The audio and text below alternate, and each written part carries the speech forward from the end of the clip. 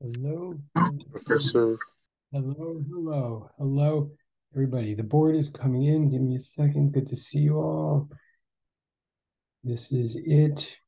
You are in the right place for the last time. Good afternoon. Good afternoon. Thank you for saying so. I'm actually not. Oh, is that Allison? Good afternoon. Thank you. Okay. And good afternoon, Bradley. Okay, I'm looking. I'm just getting the board go. Here's the Good afternoon. Good afternoon. Oh, they're rocketed. Good afternoon, Samira. All right. Awesome. Hold on. Excellent. Hmm? Okay, here we go. Here we oh, there's Valentina. Okay, hang on. Okay. Okay, okay. I think we're all here. Okay. So so yes, good. Oh, and sorry, I missed. I know I missed. I went out of order because I was doing the board. Good afternoon, Alexis. Hello, Panina. Good afternoon, Key. Um, good afternoon, Juliana. Hello, Samantha D. Good afternoon, Dante S. Good afternoon, Bradley. Good afternoon, Michaela. Good afternoon, Samira. Good afternoon, Valentina. Good afternoon, Christina. All right, awesome, awesome. Okay.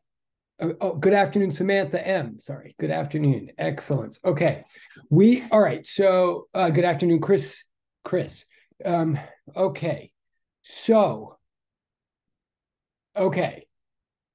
Um I have to be correct. Okay. So this is our last class. You've gotten this for, we're at the we're at the end. I mean, we're gonna we have a finish line in sight, but we definitely need to sprint through that finish line, so to speak. Like it ain't over till it's over. And this is an unusual course in a way, in that, in a way, the biggest dump of this course comes right at the end. Um, I'm always bizarrely the most intense right at the end. Hi, uh, or hi, yes. So let me be very quick and well, as quick as I can be and say, um, I know you had practice today in the lab. I you could privately tell me how that went or anything about that later on. Um, I haven't heard anything, but okay, but okay, what I'm trying to say is this as quickly as I can. I think you all now have some sense of where you are in the course before you go into the final. Then you're, and you know, anybody who has any concerns or I had concerns about them, I try to like privately like communicate with them. Everybody's still in the game. There, again, there's still lots of chance, lots of points and stuff to help you if you're not in a place that you want to be right now. Um, again, for those of you who need to do better on the final, if you do do better on the final, it will count more for you, blah, blah, blah, all that stuff. Um, again, the final will be posted like I said, eight o'clock tonight, which is weird because that's like right after this class, but that's what I said. So that's what I'm going to do. But that, well, I'm going to try to do, but the final will be posted tonight at eight. You'll have till, I think we said Friday night, midnight to do it. Let me be very super clear right now. It's going to be remark, however, today went in the lab whatever you think you know or don't know, I can tell you that the final will be remarkably, like more than usual, similar to what you saw in the lab and, you know, those questions, and will be remarkably similar to the extra true false thing that maybe you noticed was just posted to you. The last fourth of it was just posted to you um, in Google Classroom. Like your actual exam that's going to be posted tonight will be shockingly similar to to to everything you expect like there there's not a lot of time for me to make a lot of changes okay for good or for bad now you may still not think you know a lot of the answers to whatever you did in the lab today i understand that but the good news is there'll be no surprises from here on in consider today just an advanced leg up on what you have to figure out over the next two days let me say also um and I'm talking, I know, a little more frantically even than usual. I'm going to say that once I get rolling today with the physics, it is going to be intense physics for two and a half hours. Um, I want to preface before I get going with the physics, I want to make sure we have a context in which to put it. So the deal is this you're anything, there's nothing more that you have to do nothing new mathematically that you have to solve for this course. I'm going to be saying a lot today to tie together all the material. For some of you, it'll go maybe thicker and faster than ever. For some of you, it will seem like what I say today is like, oh, wait, wait, wait, wait, wait, hold, hold, hold, hold on, hold on. Sorry, you didn't see. Wait, you didn't? Wait, okay, wait, wait, wait. Okay, someone's sending me something important in direct chat. Okay, okay, let me, um, okay, we're to check in on this in a second. Okay, uh, uh, thank you. Direct. There's only one person in direct chat, so if you're in the direct chat, I I see you, and that's important. I'll check on that in a second. Well, okay, no, we might as well check on it right now. I believe if you guys look right now in the post in Google Classroom, that the place where your practice, right? Wait, wait, wait, wait, right? Okay, oh, okay. Wait, what? No, hold on. So people are saying I appreciate all the feedback in the direct chat, but it seems like people are saying contradictory things. Okay, so hang on for a second. I believe that if you, I will check in a minute, but if you look in the posting, the original posting that we made yesterday, where where you found your those three long response questions that you practiced in the lab today, I believe that very posting, which originally said something like three fourths of the exam or something, I believe if you look at the same posting again now, it was edited and there's a second link added to it. Right. Right. Okay. You should see that there's a Google form there. It does say it's no longer, well, wait. It, okay. Okay. Okay. No, I appreciate all this. Okay. So there's a Google form there. There's a Google form that's a true false thing.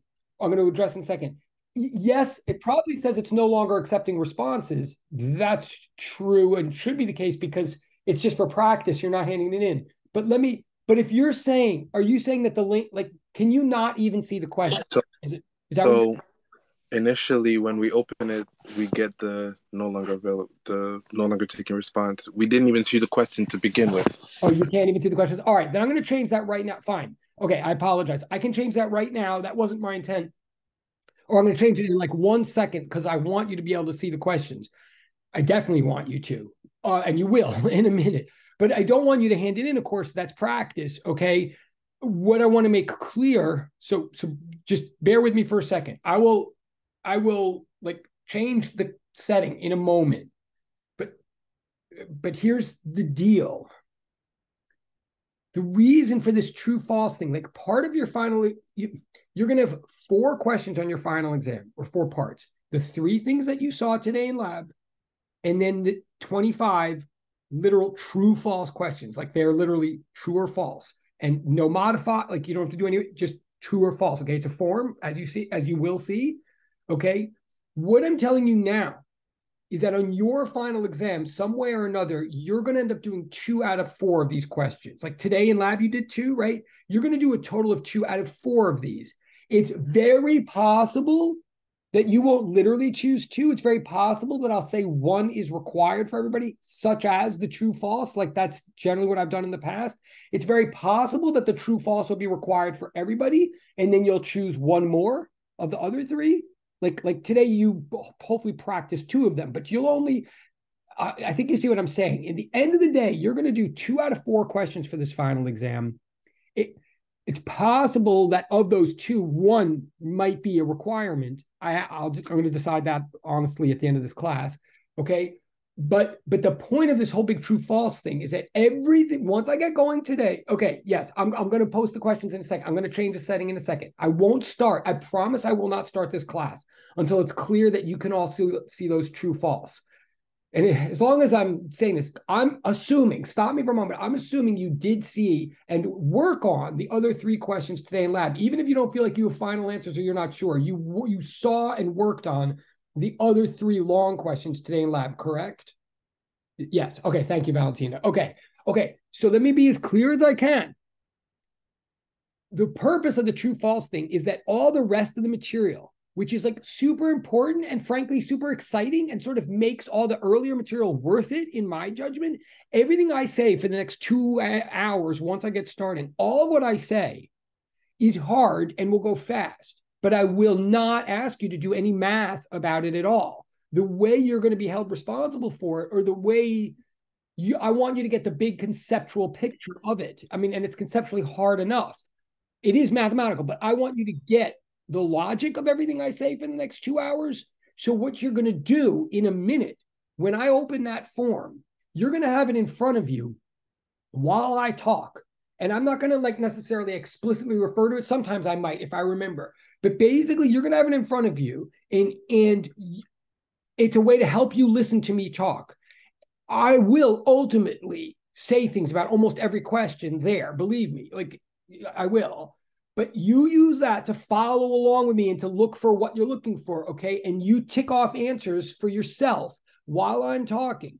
And then when I post the actual exam tonight, all those true false things, they'll probably be scrambled in their order. Maybe a word will be changed here or there just to keep you on your toes. But basically, like that's just to make sure that you pay attention today. And it's also to let you know in advance, you don't have to do any more math on anything I say today. It's really important to me that you get the conceptual connections of everything I say today and how it relates to the course. So, so the way we do this is I'm just gonna say this one last time to make sure it's clear, and then I'm gonna get going. Like, like once I open up that form and you have it in front of you, it'll sort of help you pay attention to what I'm doing.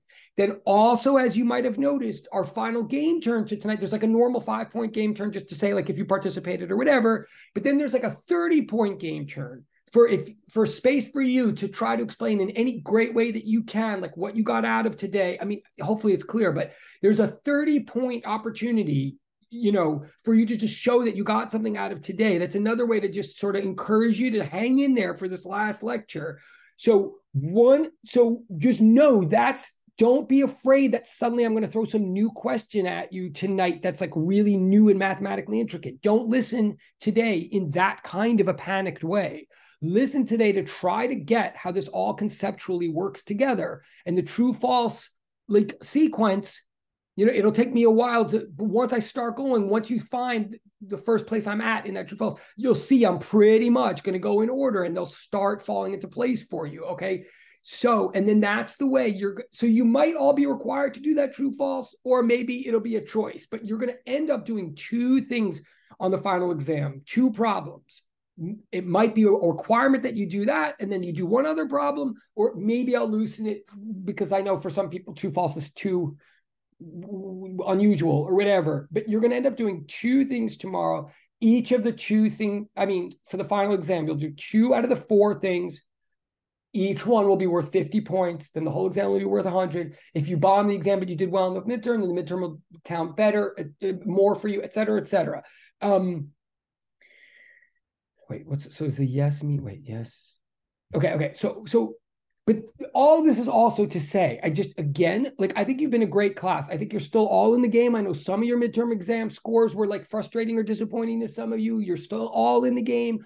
We have all these systems in place to try to have, including like that portal that says your best. Just put a, whatever you think your best day was or your best document. I don't care whether I graded it or not yet. Like just whatever you think shows your finest work, whether it was a midterm or a lab report or something, you put it in there. It'll help me also remember how good you are. Everything in this system is designed to have you be judged by your best, not your middle, not your worst. Um, all of that stuff. So this last day, there's going to be a lot of physics to make your life in this class, I hope, worthwhile. Pay attention with your physics brain. Don't pay attention with your academically panicked brain. I'm still academically on your side, and I want you to do well. Um, and all this is designed to have you walk away doing as well as you can with as much knowledge as you can. Um, so that's all that said. I think there's one other thing. All right, I'm going to say one other thing to get it out of the way. But again, the reason I'm like intense like this is like once I have your go ahead, and once that document is visible to you, then again, you're going to know basically your final exam that's going to be posted tonight will be very similar to everything that's sitting in front of you. So you'll, so there won't be any surprises. So once I start going, please just try to hang with me with the physics. Trust me that it's intellectual. It's not an academic punishment. Um, and I will also ask you to be very careful about questions. Like if you want to ask me to go back and turn a page, sure, do that as always. But today would not be the day to ask like like an interesting off-topic question about like black holes or something. Like today would not be the day for that. Um, and I'm always available by cell phone and um, email for interesting things like that later. There's many of you I'll be very happy to write recommendations for when this is all over. Like I want to stay in touch, all of that. I'll be in my office physically on Tuesdays next semester, blah, blah, blah. Like I'm getting all of this. And if there's and the grades are due Monday, so if you're concerns between now and then, you'll reach out to me personally. I'm just trying to get all that out of the way now because once I start, it's gonna be all about fit. Wait. Oh, oh, right. Okay, okay, okay. So there's a question. The true false part There's no five step method. There's no showing work. You're literally just gonna if you if you are either forced to or choose to do that problem as part of your final exam, and, and you might be forced to. But if if that true false thing is part of your final exam, all literally all you're gonna do is tick true or false for each one of those sentences. You're not going to show any work at all. You're not going to do at all. Okay. So for some of you, that's a big relief. For some of you, that's scary. Like I know that. But the whole point of that, again, is I want you to get the concepts that I talk about today. So there's no five step method for the true or false questions. I mean, I'm glad someone just asked that in the chat. Okay. And, and the other thing, it is scary, which is why it might be a choice. For some of you, it'll be a big relief, but for some of you, it's scary. I know. But I'm also basically today's whole lecture is the answer to those true false questions. Okay. So pay attention to it. Um, also, I still can't stop you from talking to each other before, like, you could still all help each other with this exam before Friday. That's still fair game. You can still go on the web and all that. But yeah, you have to, I mean, but yes, they are scary. And the one last thing about the true false is once you hit send, you know how Google Forms work. Once you submit it, it's submitted and that's it. So, yes, on the one end, it's a lot. Uh, for some of you, it's a big relief. For some of you, it's very scary. That's why it might be a choice. I, I can't guarantee that. But but either way, it's the way you want to but just know everything I say today, which is going to be heavy once I say it, you're not ever going to have to do any new math or solve new problems on. What you have to do is be able to answer those true false questions. So you'll pay attention to them in front of you while I do it. I don't mean to scare anybody. I mean to say again, the goal is for everybody to get as high a grade as possible. There's no limit in my mind on the number of legitimate A's that can be given out, as long as they're legitimate. I'd love everybody to get an A. I have no problem with that. I think there's tons of you that really are gunning for an A in this class. I think you've been a wonderful group, seriously. And anybody who's a little shaky on the midterm, I'm still rooting for, and we've had private conversations about. So I'm rooting for all of you. Um, I don't want it to be scary, but but it is intense. It's a five week course, like so we do have to go very fast today. Um, okay, and as long as we're talking about this, and I'm intense because I want to get to the material, not because I'm trying to scare any of you or because I think any like there's nothing bad with any of you. We just have to finish this course in two and a half hour in two hours. So, last thing, also, I'm just going to say some of you, I know your grade situation might be a little tenuous and you might really have to work hard on the final and you might have to choose your problem carefully or your problems carefully in the final. And you, I definitely encourage you to do a rough draft and then a final draft. Like, really be careful on the final if you're in that position. But at the same time, I'm going to tell you right now, because everybody has gotten their scores back for the most part. Um, uh, except for weird situations. Um, um, it, if you know there's a situation, then you know there's a situation. I've talked to or you've talked to me.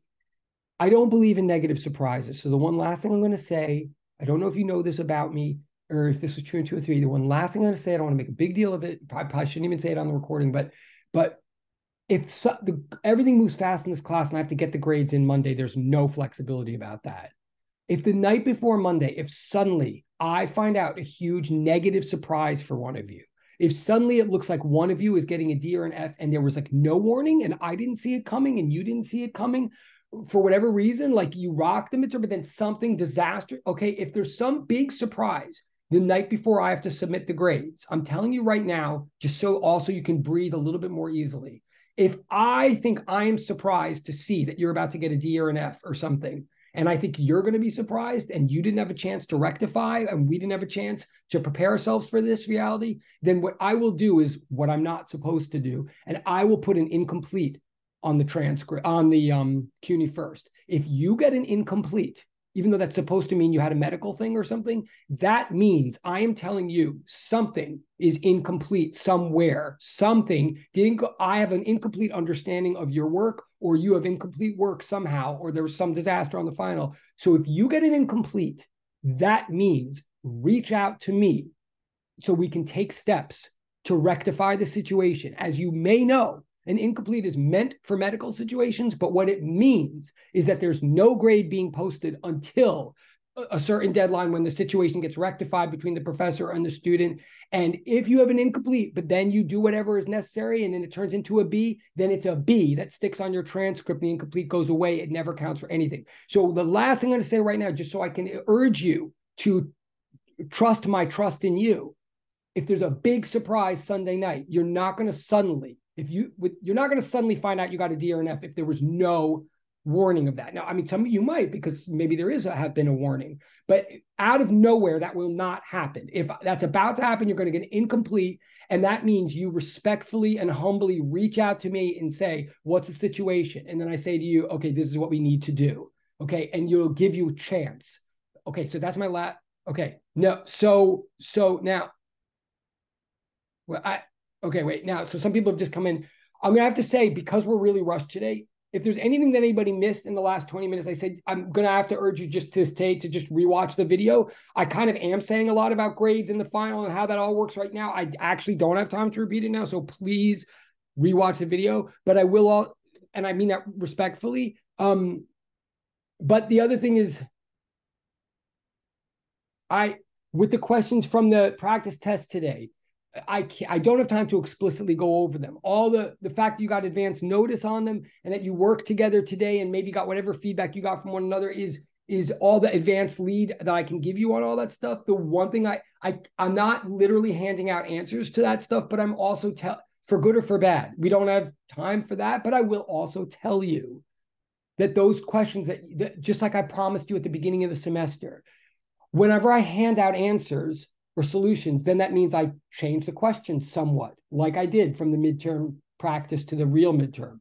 On this one, I'm not giving you out full solutions or anything like that, but also I'm not going to change the questions really. Like whatever you saw today is what you have to do. So just consider it like that you had that much more time to think about it and work it out with other people and you can still talk to other people um, and anything i say today that's helpful hopefully will be helpful but I will tell you that that E field question, for example, is literally the one we did. There's literally a video for that that we did just with different numbers, and you should replay the video. Also, lastly, on all that stuff, I'll also say this too. I encourage you heavily, all of you, to go back to the YouTube playlists from like last semester and the semester before, because actually, honestly, I'll bet you that every one of those problems, somewhere or another, I did go over some point at some semester, and you're welcome to watch or f- poke around to find whatever you can find for that. Um, that's the best thing I can say. Yeah, at this moment. Uh, okay, and but all right. The, again, I don't. I'm intense, but I don't mean to be stressful. I just mean to be intense today. The thing I'm going to do right now, before I get rolling on the physics, and again, and just know again, when the last moment comes, you've been a great group. You've been an unusually great group. You have. The the tie goes to the runner, so to speak. Like that's a baseball metaphor, but you will be given every benefit of every doubt possible, every point that I can add to your score from anything you did in home, and all points I still owe you on homework and stuff. Believe me, not only they're going to be counted, but to be counted generously. If there's something that I still haven't graded of yours, which is true in a lot of cases, believe me, you'll get the most generous grade possible. We are look anything you give me to help you help your grade, I'm going to help non-linearly. Okay. I promise. But you obviously there's still an opportunity for you guys to do your part as well. You the thing to just always remember is you're not in a competition. I don't have a limited number of A's to give out. That's the best. It doesn't mean you're all going to get an A, and it doesn't mean that some of you aren't going to get a D or an F. But we're doing everything we can up to the last minute to see you do as well as possible. Now, the thing I'm going to do right now, besides let in Dennis, the thing I'm going to do right now before we go any further is make sure that this uh, exam thing can be seen because I do understand. Okay, so look for it now. I think I just changed the setting. Oh, I might have to make a new link, maybe. Uh, try right now, please, the multiple choice, uh, the true false, and see if it's accepting. If it, if you see the questions now, if you don't, it means I have to make a new link, and I will right now. Hold on. Um, uh, hello, hello. I see it. Okay, you see. Oh, great, great. Okay, okay, great. So again, even there, those are the real deals. I may sc- and they're in order, sort of, of the course material and sort of of more or less what I'm going to go over today. I might change a couple to make it more relevant today, but basically that's what you're going to see tonight. Okay. Um. So just have that in front of you as we talk. And if you have to come in and out of the room while I'm blasting forward, if you have to print something out, obviously just you do so and use your judgment. And you can replay this video, you know, later to. Oh, it, wait. Oh, what did someone just say? Hold on, hold on. Wait, I have a question. Oh, you have to refresh. Okay, you have to refresh. Yeah, thank you, Allison. What, uh, Chris? Sorry, what? I have a quick question. It gives us option to record our emails so it, we can email our responses. I know that you said we don't have to submit it, but can we like click that option and submit like at the end so that we have our answers in our emails in the event that we were listening while you were talking and filling them in? I mean, if I understand, you can. I can't promise I will do anything with it. Like I'm as rushed. No, no, no. Oh, but no, yeah. I'm, I'm not saying that you should look at what we did. I'm just saying that so that I have what I selected in my email. Oh yeah. Oh, that uh, makes I- sense. Sure, sure, sure. Yeah, that's a good idea. Yeah, sure. Yeah, fair enough. Yeah. And by the time I posted tonight, so I hope everybody heard that. And when I posted tonight, even though again, I think the questions will be remarkably similar, like it will say the real thing instead of the pri- like it'll be a, technically a different document with a different link. and It'll probably have a different color. And again, just to warn everybody, the order of the questions might be scrambled just so that we don't like idiotic, you know, just like copy TF, TF, TF. But yeah, you can totally do that. Yes. Okay. All right. So in a minute, I'm gonna close. Oh, so close. Uh, yeah. Thank you. Oh, okay. Okay. Oh, okay. Okay. Thank you, Bradley, and thank you, Allison. Uh, oh, thank you, Dante. All right. All right. Cool. Cool. Cool. Cool. Cool. All right. I'm glad. So, so I know this is a lot. All right. So there's a hang. So you got two. Okay. Um. So again, I'm going to take a deep breath. I hope you do too. Again, I hope it. I hope it's clear that. I mean, you know, and this happens every. You know, I'm always like this on the last day because I really do think there's a punchline of the all of this that's worth your seeing. And uh, oops, sorry. And I'm particularly like this at the end of a five week course. I I really admire all of you for being able to keep up with this pace and everything. The pace crescendos today. I'm stalling slightly and taking a breath slightly because once I start, it will be a little intense. You can walk out at any time, of course, but let me keep going. I don't think there'll be a break today. I apologize for that in advance. Um, what was uh, but I think that when you get to the end, you'll know if when I get to the end, you feel like I've gotten to the end of something, even if it you're like, wait, I didn't. Whoa, that was something, but I don't quite. Whoa, I don't quite know what that was, but that definitely was you know like the last page of something then then you're with me it will you will want to walk away and think about and maybe play this video again and again later after i'm done but okay okay i'm just looking at the chat but we're gonna so yes okay the form right now yeah so the form right now is practice you're not turning it in it's not for me it's for you but what it really is is your ability to i mean your guide to following this last lecture you want to try like you use this last lecture as like a treasure hunt of when you how to listen to me is to try to get answers to those questions while you're listening to me. And then the final real thing that will be posted pretty much when this lecture is over will be remarkably similar to that, probably just with the order scrambled. Um, okay. So, so I'm, I'm going to start in a minute, and it's just going to be like a physics blast. Can I just get consent, so to speak? Can I? And again, when we're all done, you can text me or email me. uh, Maybe not right at the end because then I have to post your exam. But like, you know, we'll still have tonight, tomorrow, you know, Friday. You can text or email me with questions. Blah blah blah. You could still work together, and then you turn in all your exams by Friday night. Okay. So Dante, so I think Dante's answering the question. Oh, great. Okay, thank you. I didn't even finish. Great. Okay, thank you. So can everybody, any if you basically get what's going on and you're ready to go for this last class, can you please raise your electronic hand or do like what these guys are doing in the chat? Okay, thank you. Thank you. I totally appreciate it. Okay, great. And you really are a great class. Okay, awesome. Oh, I like the yeah. Okay, awesome. Awesome. Cool. All right, cool. You guys are a very cool group. And please come to me for recommendations when this is all over. I'm not kidding. And please don't be a stranger. I live on the fourth floor um, on Tuesdays. Okay. All right, so I'm going to switch the view, the screen, start. Be fine. Okay.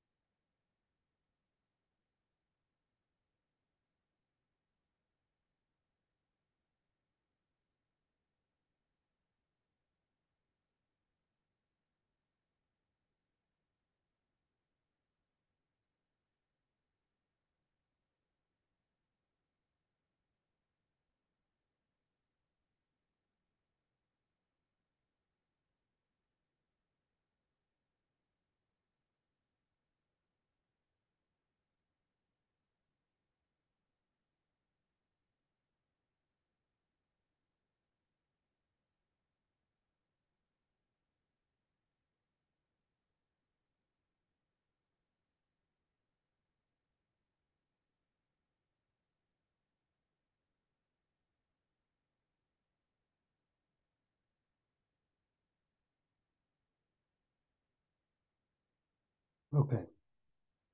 Before I do any physics, I'm going to remind you of a little piece of math background that came up in the second homework that's been coming up lately. I want to remind you that there's three ways, uh, or I want to tell you that there's three ways to do multiplication when vectors are involved. Okay. Um,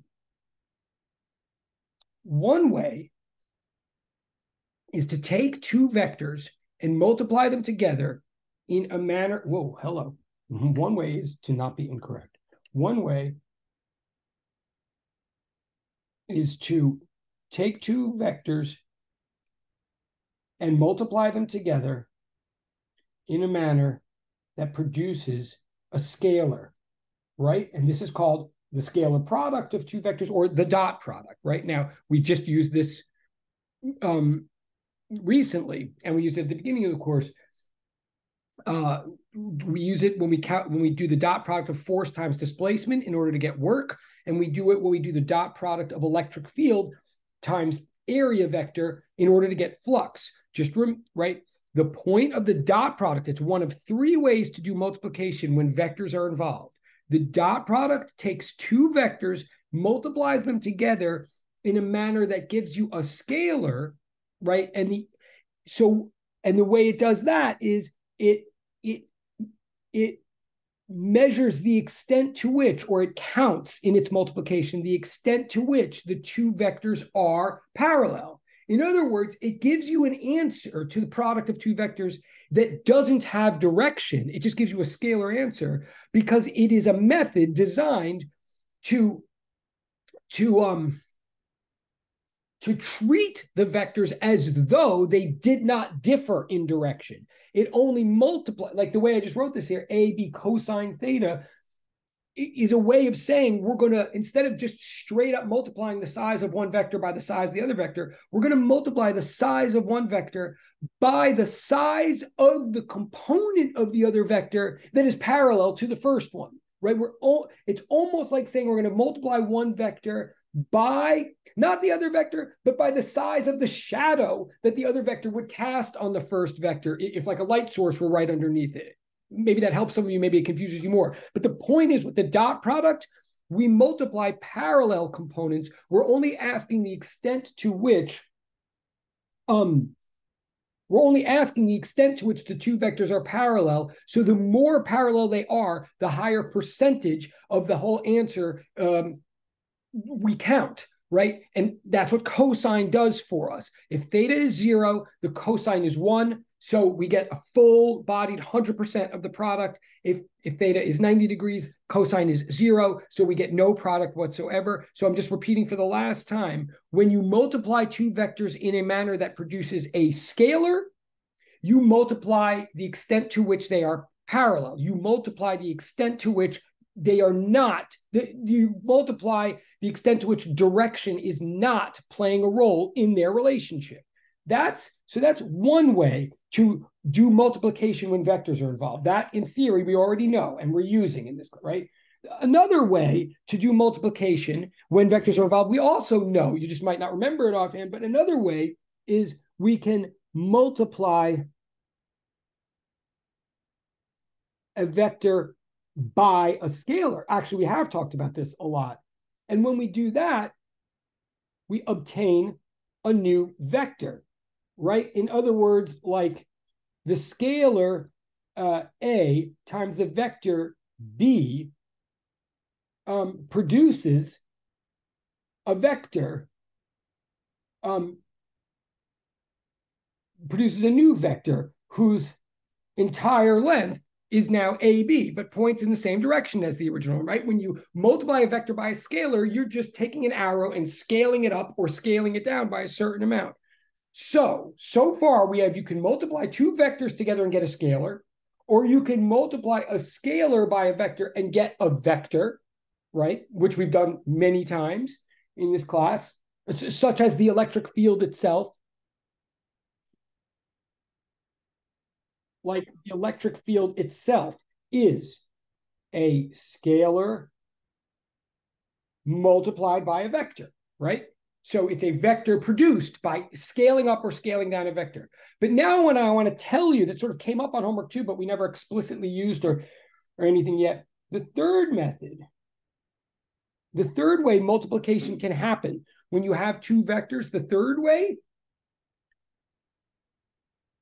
if you have two vectors, a two arbitrary vectors, a like you know arbitrary lengths and arbitrary angles, and they're separated by an angle theta we there's a way in which we can multiply these two vectors and obtain a vector. That's the last final. Logically, that would be the last remaining option, right? We've never discussed this before. Let me be very clear. I'm telling you now. There's a method where you can take two vectors together and multiply them in order to get a vector. Now, how does that work? Well, this is called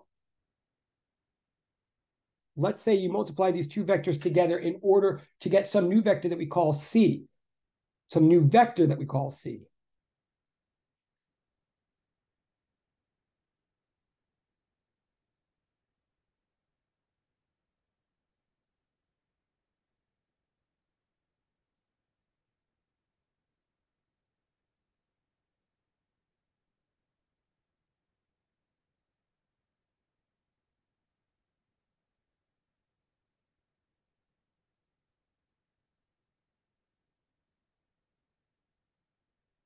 Okay. When you multiply two vectors together to get a scalar, we call that the dot product, and we like denote it with just like a dot, like on the other page. But when we multiply two vectors together in order to make a new vector, we denote it with a cross symbol, like you know, the, the X. We call this the cross product. What do we get when we cross two vectors? Well, I will tell you that the magnitude of the answer we get Okay, the magnitude of the answer we get will be what you maybe expect if you're following this along already. It will be the magnitude of one vector. And remember, whenever I write a vector by itself, I mean, when I write a symbol by itself without the arrow above it, I'm talking about its raw magnitude, right? I'm talking about the absolute value of the vector, right? So, so over here, just to remind you, when I wrote the dot product, I was saying the dot product of vector A with vector B gives you a raw number which is the, the raw magnitude of A times the raw magnitude of B times this raw number called the cosine of the angle between them, right? So the bigger the angle, the, the smaller percentage that you would multiply by the A and the B. But that was the answer. The dot product was just a number called number A times number B times cosine of theta. That was the answer to the dot product because the dot product just produces a number. But with the cross product, we're going to produce a vector.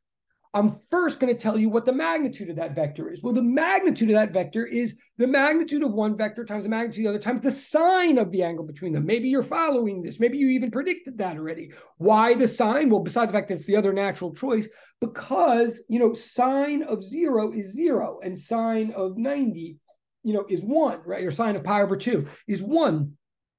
So what this is saying is now, if we're going to look at the directional relationship between two vectors, if we're going to multiply two vectors in a way that where we do care about direction, where we want our final answer to include direction, where we are taking into account not only how relatively large they are, but how relatively directed they are, right? If that's our operation, and again, this is the new material right now. Like we, we, I mean, it said it in homework too, and you practice, but we never talked about it. I'm talking about it now.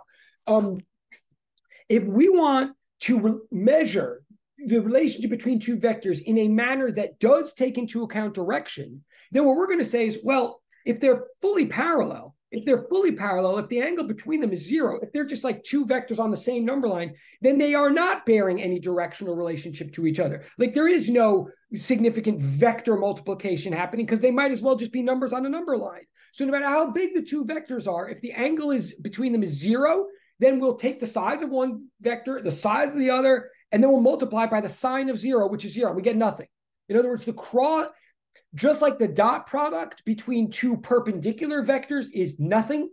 Similarly, the cross product between two parallel vectors is nothing. The cross product is looking at how directionally different or related they are. So the more they differ in direction, the more direction is mattering in their relationship, the bigger the cross product is, all the way to the limit where if two vectors are fully perpendicular, then they are sort of as crossed as they could possibly be. Then they're like on two totally different axes. So we would say the cross product of two perpendicular vectors is the magnitude of one times the magnitude of the other times the sine of 90 degrees, which is one. So it would be like 100% of, of, of their scalar product, right? And anything in between. So this is just like the dot product so far, only it's backward. It's the opposite. The more perpendicular two vectors are, the bigger their cross product is. The bigger the magnitude of their cross product is. That's what I'm saying so far. Hopefully you're with me. And maybe if anybody gets is that a hand? Okay. I think you're with me so far. I can't actually see you, but okay, I'm going to assume you're with me so far. But now, if you're really with me, no, I have to tell you one more thing before I go on. Because if I'm talking about cross product now, the cross product return is the product between two vectors that actually produces a vector. So that means what I just wrote on the page here is merely the size of that vector. But I need to tell you something more. If it's a vector, I need to tell you the direction of the vector. In other words, what about what about the direction of C? What is it? Where does it point? Now, now follow this. Well, I'm going to say something that you may have heard in other contexts, but you might never have known that it came from this or that it was math or whatever. What I'm going to say is since the cross product measures the extent to which two vectors are perpendicular, right? And again, why perpendicular? Perpendicular is the most that two vectors could differ in direction. So we're measuring the extent to which they're differing in direction. So we're measuring the extent to which two vectors are perpendicular. If they're not at all perpendicular, the cross product is zero, it, right? Since the cross product measures the extent to which two vectors are perpendicular, then the direction of the answer should not favor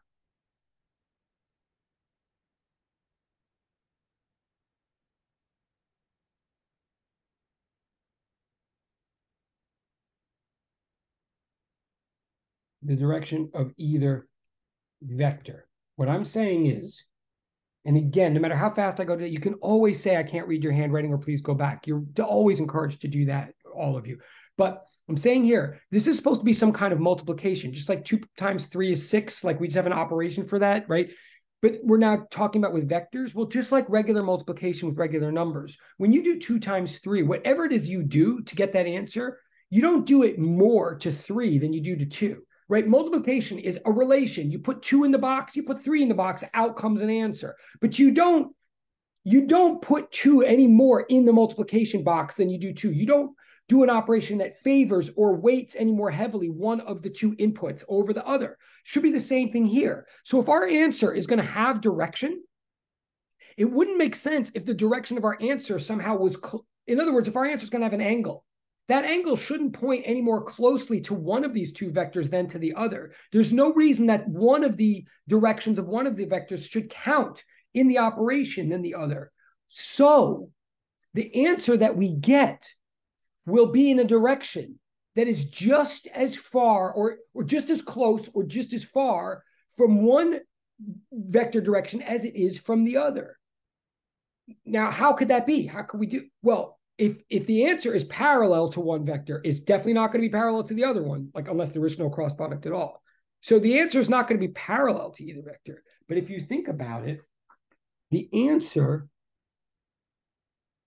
C will always be, so this is a therefore, I'm saying, in order for the answer not to favor one vector over the other, the answer will always point perpendicularly to both original vectors.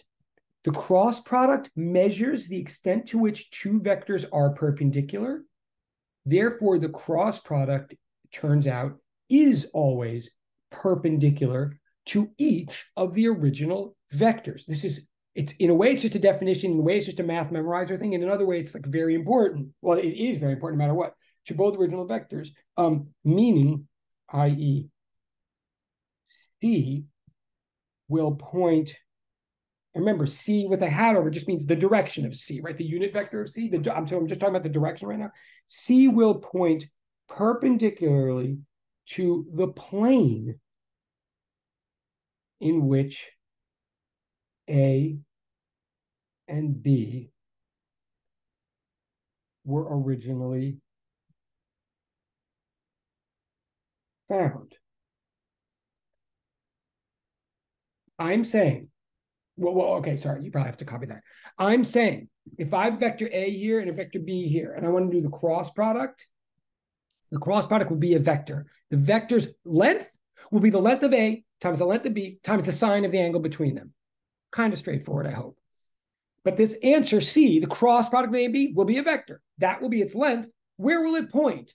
It will stick either out or into the very page that A and B were in it will be perpendicular to both A and B. That's the way we can guarantee that the answer, that the direction of the answer in no way favored the direction of one any more than the other. It'll be as far away angularly from each one as it could possibly be. Now, the odd thing is, if you think about this, I'm saying for any two vectors you ever pick, I, any two vectors you ever pick, just like two points define a line, two lines define a plane. There's no matter what two arrows you ever pick, you can always imagine a piece of paper going at some angle that that included both of those two arrows. You may or may not have ever thought about that before, but any two arrows you ever are trying to cross are in some plane somewhere, some piece of paper you can imagine. What I'm saying is the cross product, the final vector that represents their vector multiplication, will necessarily point either out of that piece of paper or into that piece of paper. It'll be on the axis perpendicular to the plane in which the two original vectors were found. So like,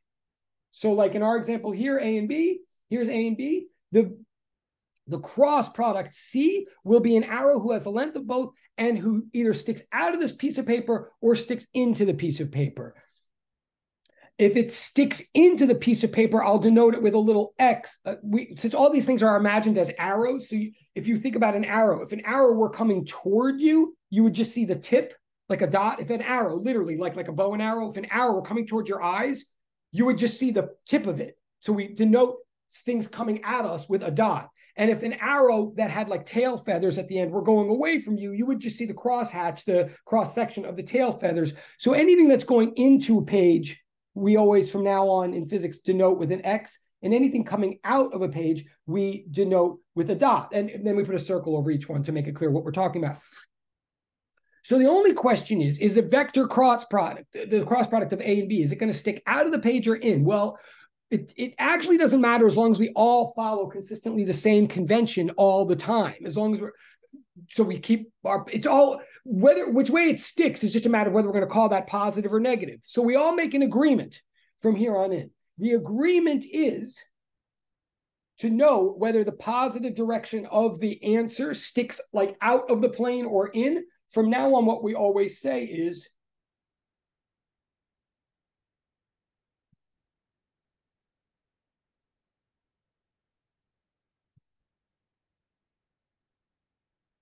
you probably heard of this in sixth grade or something, probably in a physics context, not a math context. But there's this thing called the right hand rule, which just means this. Sorry.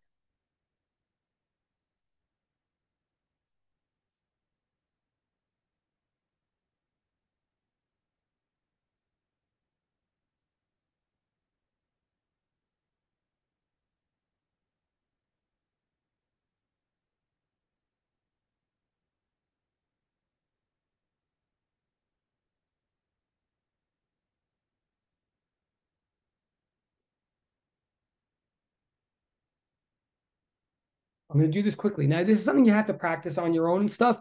But again, just try to get the larger concept right now. I'm saying, and this is just a convention. This is just to get, with the main thing to get from what I'm saying, the main thing to get from what I'm saying right now is that when you cross two vectors, you get a vector. When you do the vector multiplication of two vectors, you get a vector. Whose direction is necessarily perpendicular to the original two vectors. That's the key point I'm making. So it'll necessarily point out of or into the plane. Whether it's out or in is a matter of whether you call that positive or negative. How you decide now is this rule, but don't, you know, it, it's, it's the rule is kind of minor compared to the whole. Just knowing that it's a consistent rule is the important thing. The rule works like this: here's A and B. I take my right, but this is a rule of mathematics for all time, for all cross products, so that we're all in the same coordinate systems, getting the same pluses and minus answers for all time. We we put, if I want to do the cross product of A and B, I would put my fingers along A. Well, you can't, I would point my fingers along that A vector. This is confusing because the I can't. I would put my fingers. Okay, I put my fingers along A and then I curl my fingers toward B.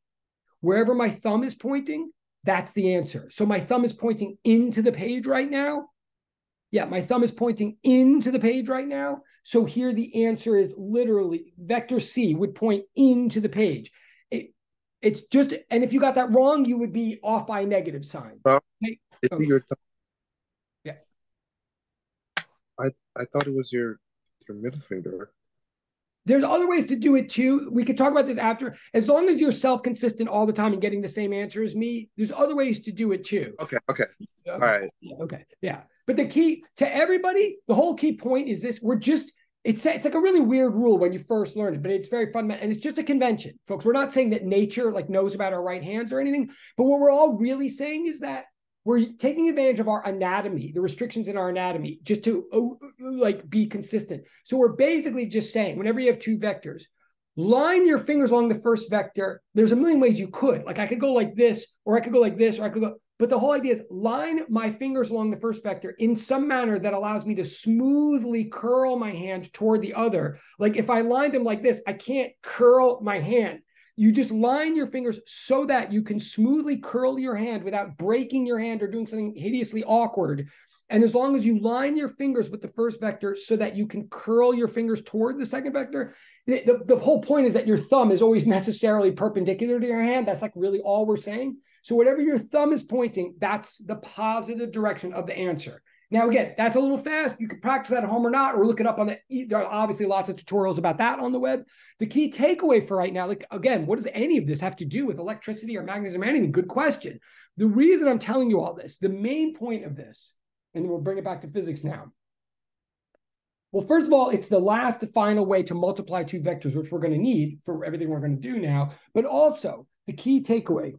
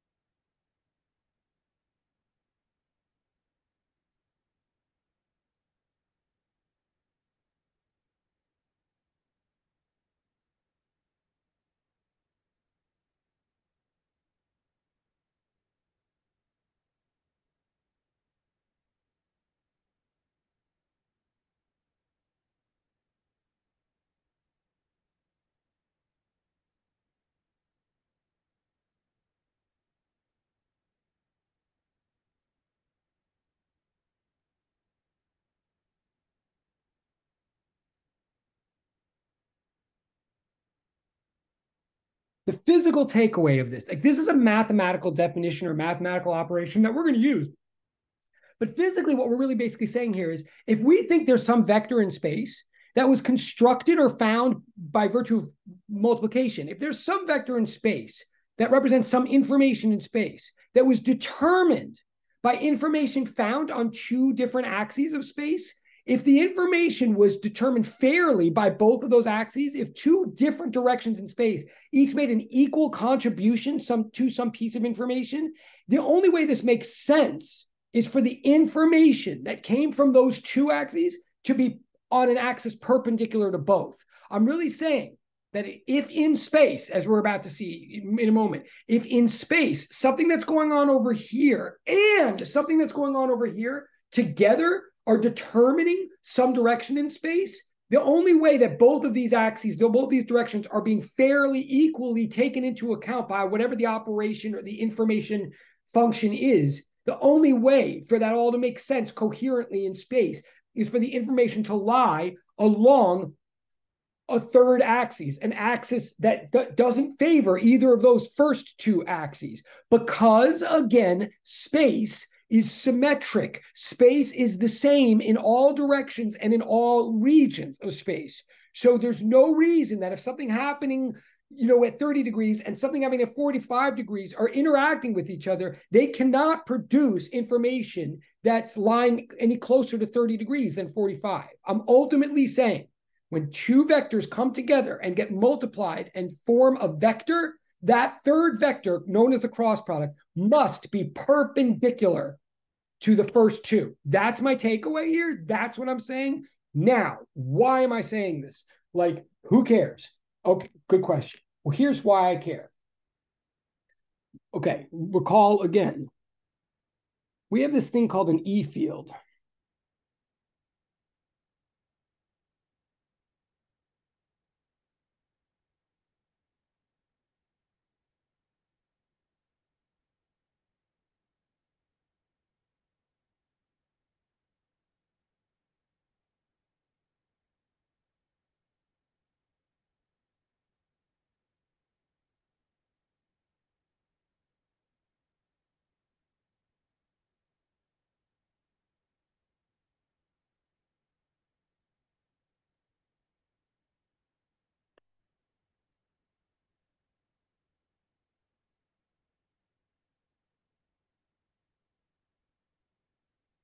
Okay.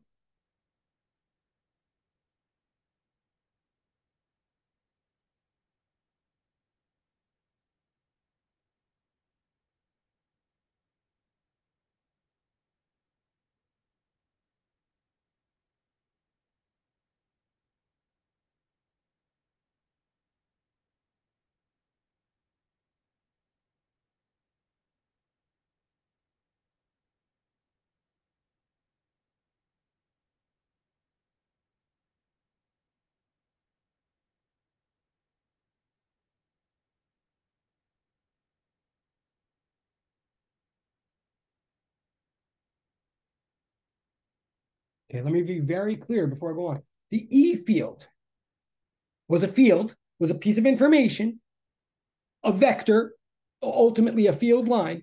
But in the simplest case, if you look at any point in space at the E field at that point in space, what do you find? You find a little vector there. What is the vector? The vector was produced by a dot, by a point source, by like a proton that was over here at some other location, right? The dot produced just by existing this scalar zero dimensional this zero when i say zero dimensional i mean like a point is zero dimensional right? And a line is one dimensional and a plane is two dimensional and a cube or whatever solid is three dimensional. So you got this zero dimensional dot called a proton or an electron sitting in space. And then you draw a vector from it called the vector r the displacement. You draw a displacement vector from it to some other location in space call it p. And at p we find some E field information. We find it in the form of a vector, right? Oh, this is all like a la problem one on the final. Remember that that E field vector here is, is ultimate. It's a vector that got formed how? It got formed by all the information contained in that scalar dot at, at plus, oh, I guess I should call it, sorry, I guess I could call this plus capital. I don't mean to make it inconsistent, right? That plus Q contained all this information in it, like how big it was, where it was, blah, blah, blah.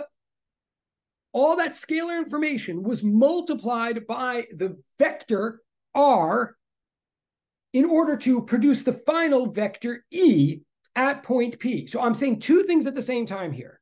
I'm saying physically, the thing that produces the E field is a dot. It's a dot. It doesn't have any dimension and it doesn't have any direction. I'm calling it a zero dimensional scalar it's not redundant, right? I'm saying it, it, it, a proton has no dimension and also it has no direction. So it's a zero dimensional scalar sitting there in space, and we draw a vector from it to some point in space.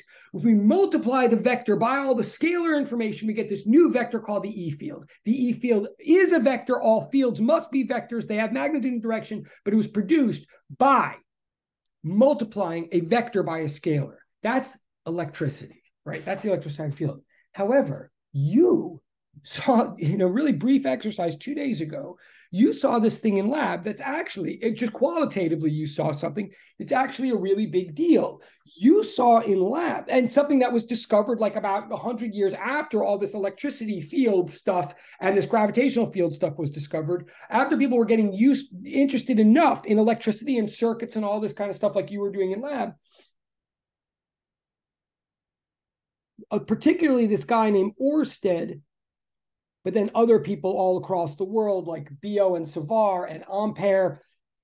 This is in the in this is in the like uh early 19th century.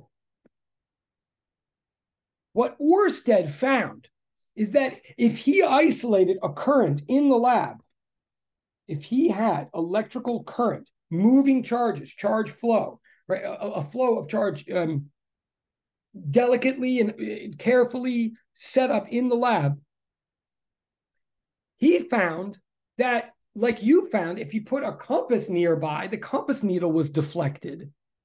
And and that made him curious like wait, what's going on there? In other words he saw an action at a distance that he wasn't he might who knows what he was expecting but that no one had like literally accounted for before in formal physics. And then so he saw an, a new action at a distance a wire was affecting a needle without touching the needle. So he got a little bit more specific about things. So that's what you saw, I, I believe. I mean, you guys taught, and I'm glad you did. More specifically, he got more clinical about it, and he noticed that if he put another wire near the first or another current carrying near the wire, he noticed uh, and you may have heard about this in sixth grade or whatever.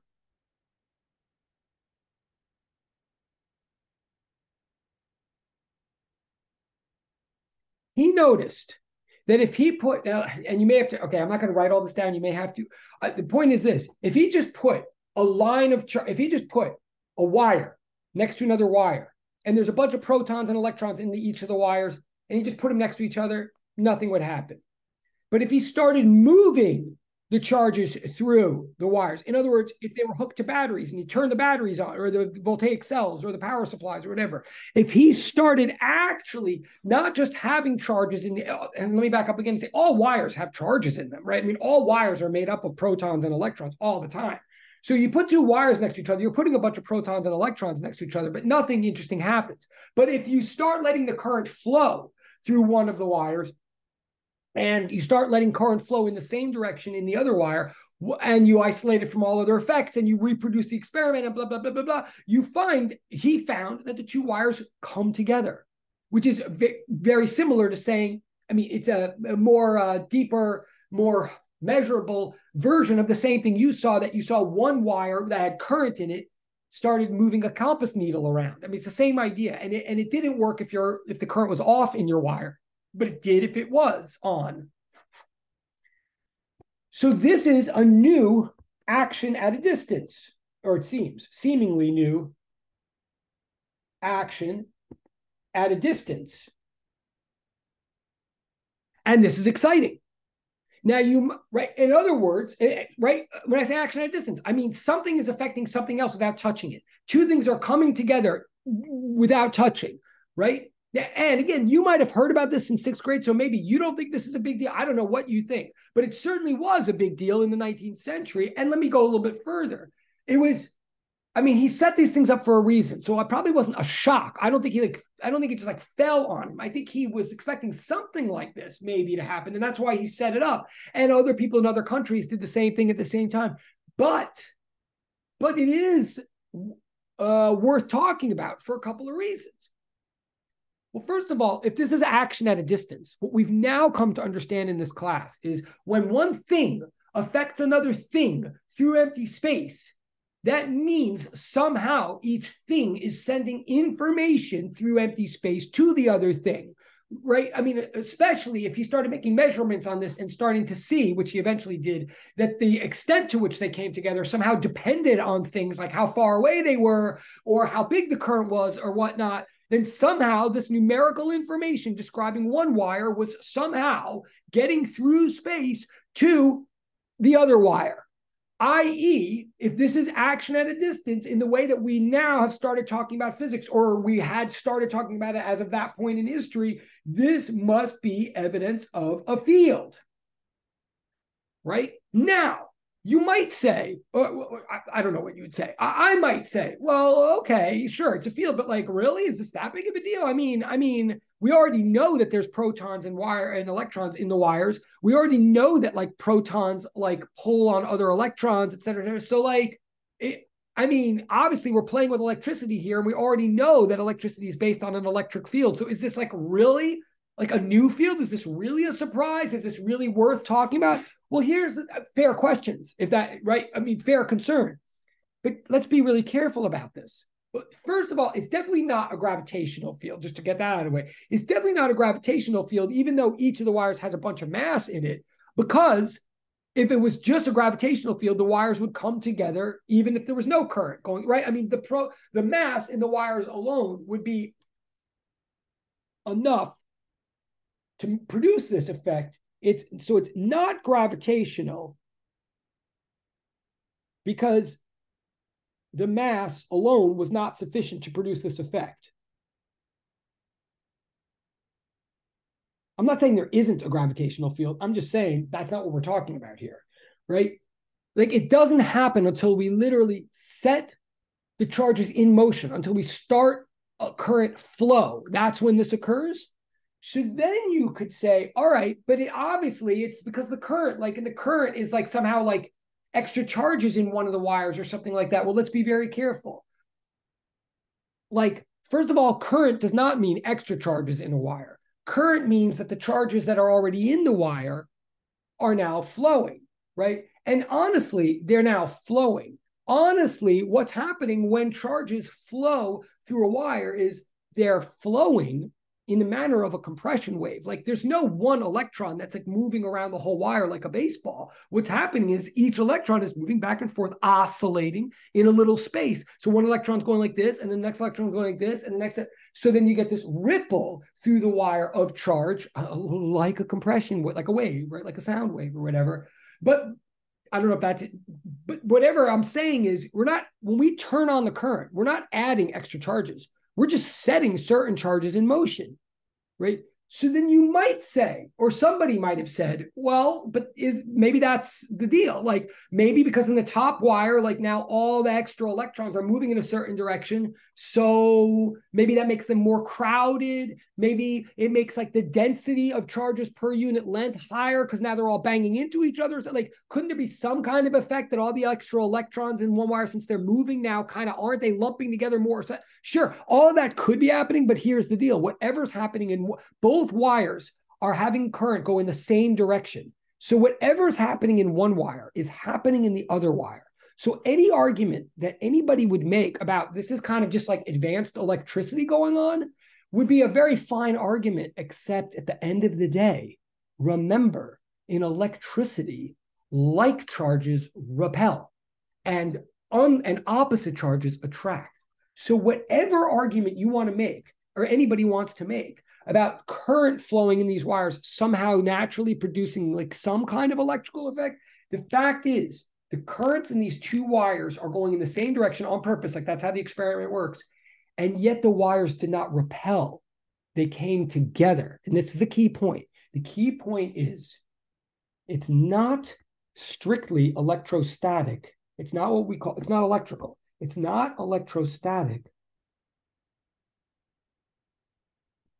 because the interaction is in the wrong direction, literally.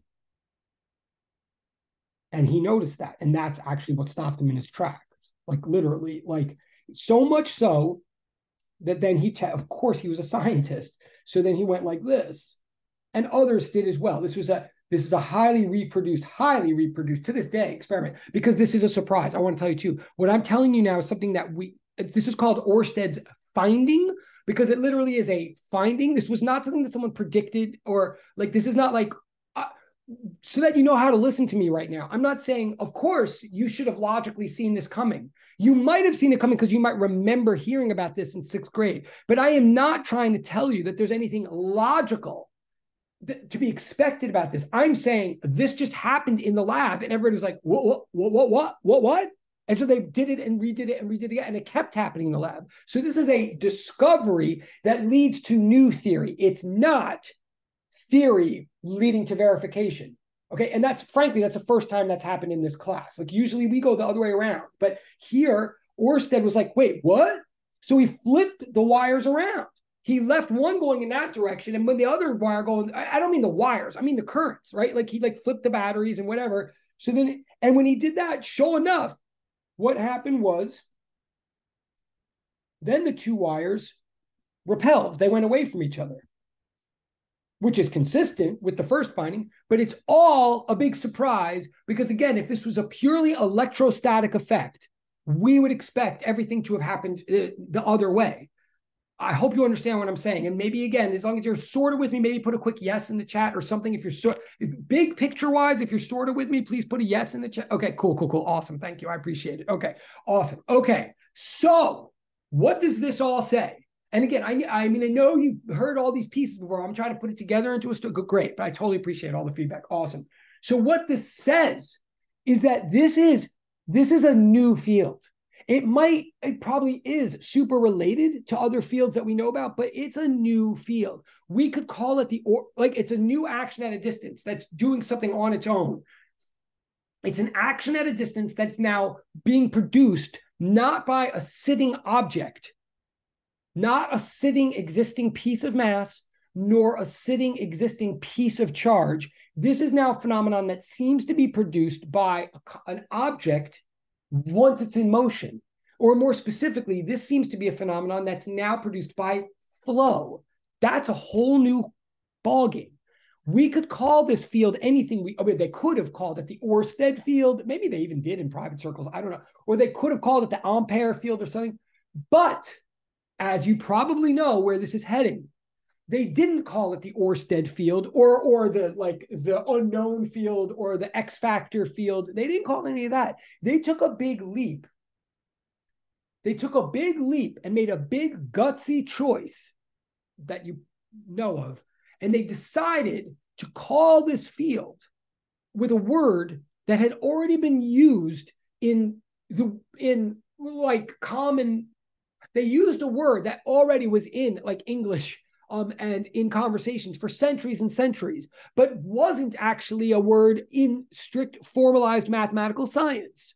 What they said to themselves was, hey, wait a minute, here's a new, very, very particular, very advanced kind of field that we're finding out in the lab for the first time because we only just recently have this new technology of electrical currents and voltaic cells and all that. So here's this new field that in the lab we're discovering for the first time we've never seen before, and we don't know any math for yet. But then they said, you know what's interesting?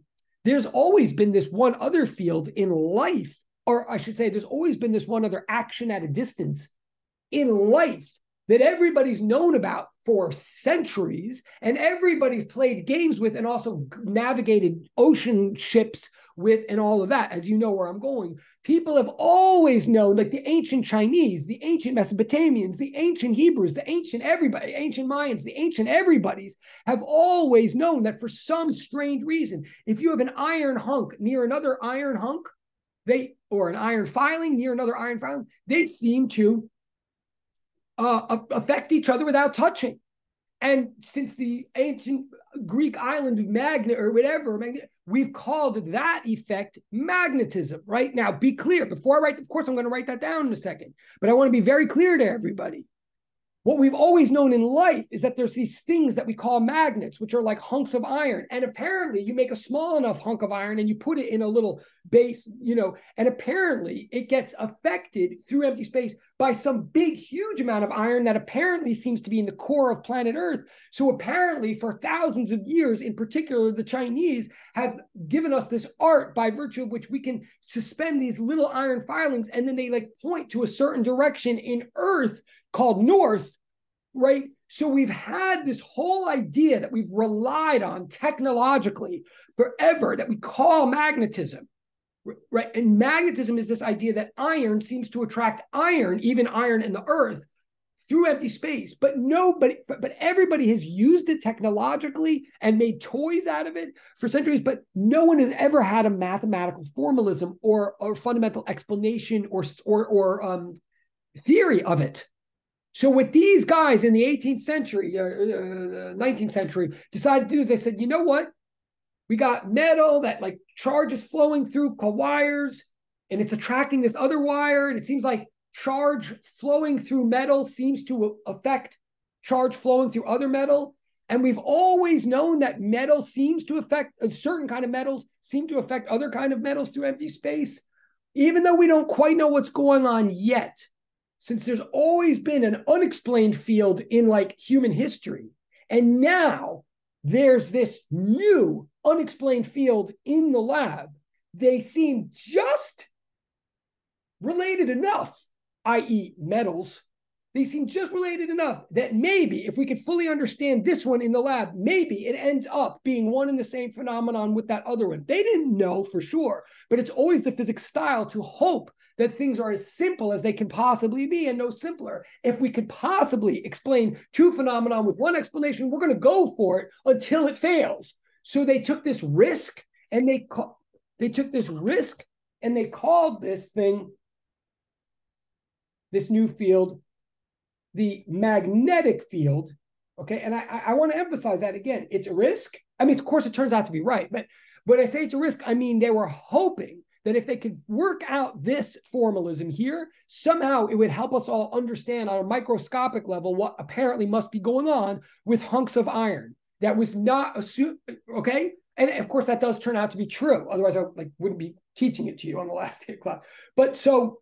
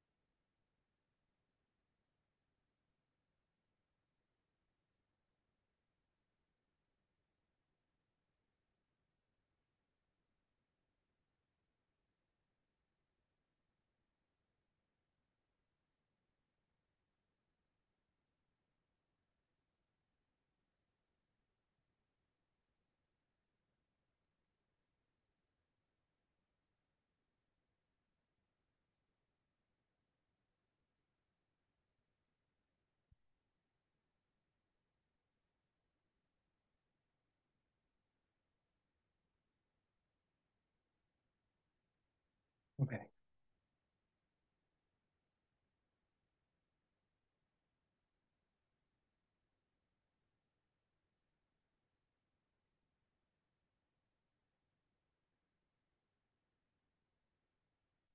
Okay. Uh I'm just going in the chat room saying, hold on a second. Sorry, I might have missed something in the chat. Okay, no, that was all yeses. Thank you so much. Great, great, great. Okay. So, okay, I'm going to start doing the math of this now. But let me, I'm going to say again in case I forget, whatever. What I'm what I'm saying is when you have a flow of charges, like if you have one point of mass, that produces something we call a gravitational field. And it has a math associated with equations and all that that we know. If you have one point of charge, it produces something called an electrostatic field, and that has an equation with n field lines and all that. And and the two are different because like one's from a mass and one's from a charge and so they have different numbers and all that but they by calling them both fields we're saying the same rules apply to both the same rules about field lines and all that and the same type of equation applies to both inverse r squared all that. So now we're saying apparently there's a third type of field now. There's a third type of field that is um produced by a new agent. It's not a point of mass.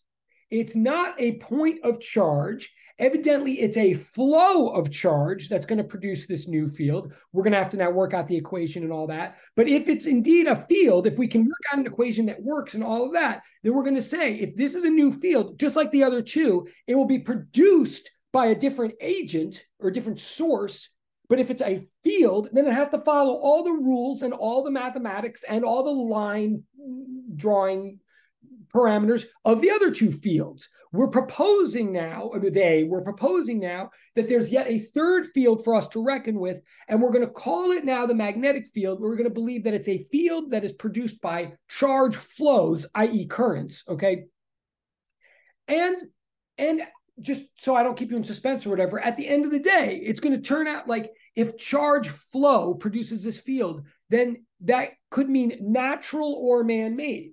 So even if you have one electron going round and around and around, that's like a little, that's a tiny little natural current loop. Like even in other words, a hydrogen atom. If this theory is correct, which it is, like which we're going to develop right now, you know, but uh, if we're going to believe this idea of a magnetic field, if we're going to believe that once charges are in motion, then even one electron going around and around and around, that's a tiny, tiny little natural current. So even the orbital of a hydrogen atom will be a little current that would produce this kind of magnetic field. And then evidently, if we put a whole bunch of currents together, like if we put a whole bunch of random atoms together, like in a plank of wood, well, then we're going to have like electrons going this way and electrons going that way and electrons going that way. So we'll have all these different magnetic fields that are all going to be haphazard in all different directions and probably all cancel each other out and not produce any macroscopic effect. But just so that you know where this is all going, you might imagine that maybe it's the case that certain metals like iron or magnesium or something, certain metals like iron, what they, they might have the special property that maybe all their electron orbitals maybe are all lined up. So maybe a hunk of iron is really the equivalent of a bunch of wires all lined like a big coil of wires going like this, going like this, and producing one big magnetic field. Maybe at the end of the day, why iron does what it does is because it's a naturally occurring version of a whole bunch of current loops that are themselves all doing whatever it is I'm about to explain. And, and that's the case. Just so you, okay, at the end of the day, when I get to all, the end of all this, if you're ever then wondering, well, how did this tie back to compasses or iron? Iron and the needles in comp and the stuff in the middle of the earth and the needle in a compass thing, they are all materials that happen to have. What makes those materials special is all their electron orbitals are lined up.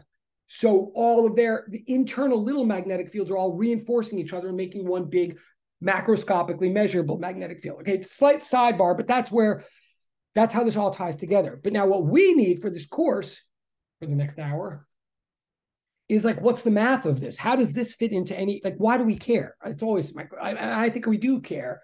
Like if this Oh, oh, and, and last thing too, for whatever reason, the magnetic field, I, for historical reasons, it's not designated with an M, maybe because M was already used for mass. I, there's actually a story about this, but it's not worth it. The bottom line is you just have to suck up the fact that capital B is what's always, always used to stand for magnetic field from now on. You just have to remember that. Capital B means magnetic field. And whatever it is, it's a it's a field, it's a vector quantity it obeys all the rules of field. So, so the B field must be a field in all mathematical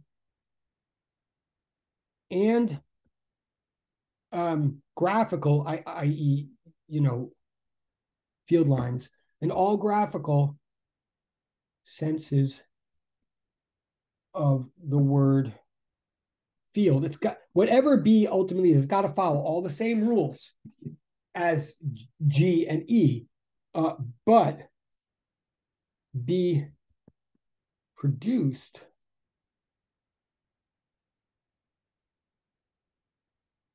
by a line of charge flow, i.e., current, right? So this is now a new thing. And then again, the demonstration of this, I'm talking a lot, but you saw in the lab, you put a compass near a wire, the compass needle deflects. So, and I shouldn't say that. You put a compass near a dead wire, nothing happens. But you put a compass near a current carrying wire, and the needle deflects. So apparently, flowing charges now produce some extra effect in space that the charges charges when they're sitting still already produce electrical fields But then when the charges are moving along, then they there's an additional effect that we're now going to call a magnetic field.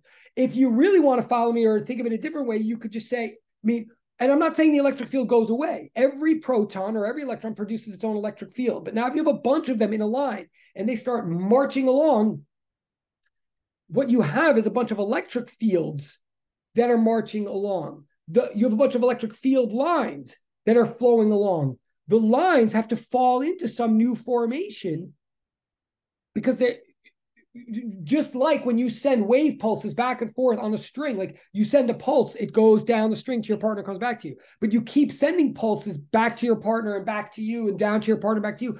Eventually, the pulses start interfering with each other and they fall into a new pattern, right? If you have enough pulses that are going horizontally back and forth on a string, eventually they intersect with each other and make a new pattern. And instead of seeing back and forth, back and forth, you end up seeing like this. It's called a standing wave, right? Like you saw in lab three. Similarly, here, if you got a bunch of charges flowing down a wire, they're all carrying all these field lines with them. All the field lines are now moving. They're going to fall into some new pattern. If the charges are moving at a constant velocity, then the new thing won't it will be a pattern. The new lines i'm basically i'm saying is if you have a bunch and i'm going to look in the chat in one second i'm saying if you have a bunch of charges each of which are producing their own lines the picture of the lines has got to change. But if it's changing in a constant way if the if it's a constant flow then you'll get a new picture of lines but it should still be some kind of picture some kind of pattern. So the question is what do these new lines look like? And whatever they look like, we're going to call them magnetic field lines. Let me just see. Wait, okay, something in the chat. Uh, wait, I know I'm a little word. Oh, oh, sorry, sorry, sorry, sorry, sorry. Great question. What's the word before field after the? Oh, oh, it is word. Yeah, yeah. I thought the person was like word. Yo, we totally can't read word. Okay, yeah, word. It is word. Uh, sorry, but thank you for asking. Okay. Okay. Great. Thank you, guys. All right. So the question is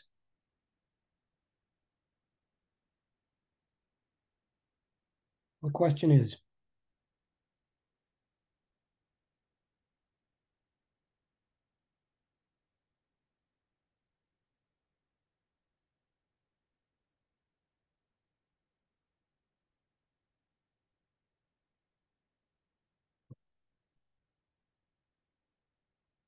Wait, when we okay, someone's asking to be more clear, what do we call when the charge is constant? When the charge is constant, if you just have a sitting constant charge, that produces electrostatic field.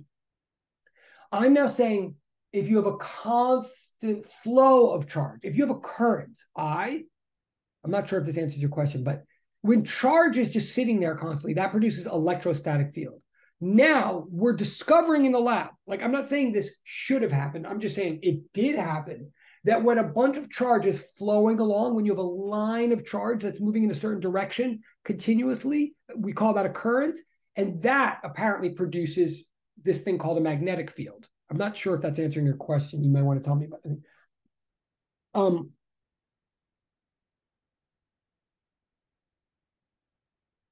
oh, okay, thank you. Great. Okay, great, great. Okay. Um,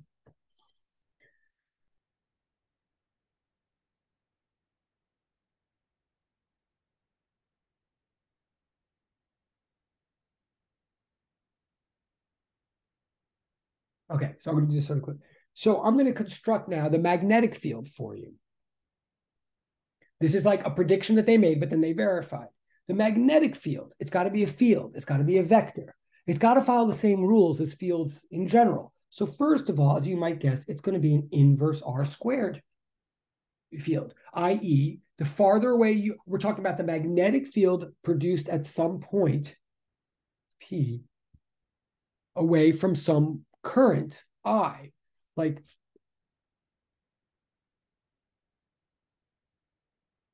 So you imagine some point P at a distance R away from some current I.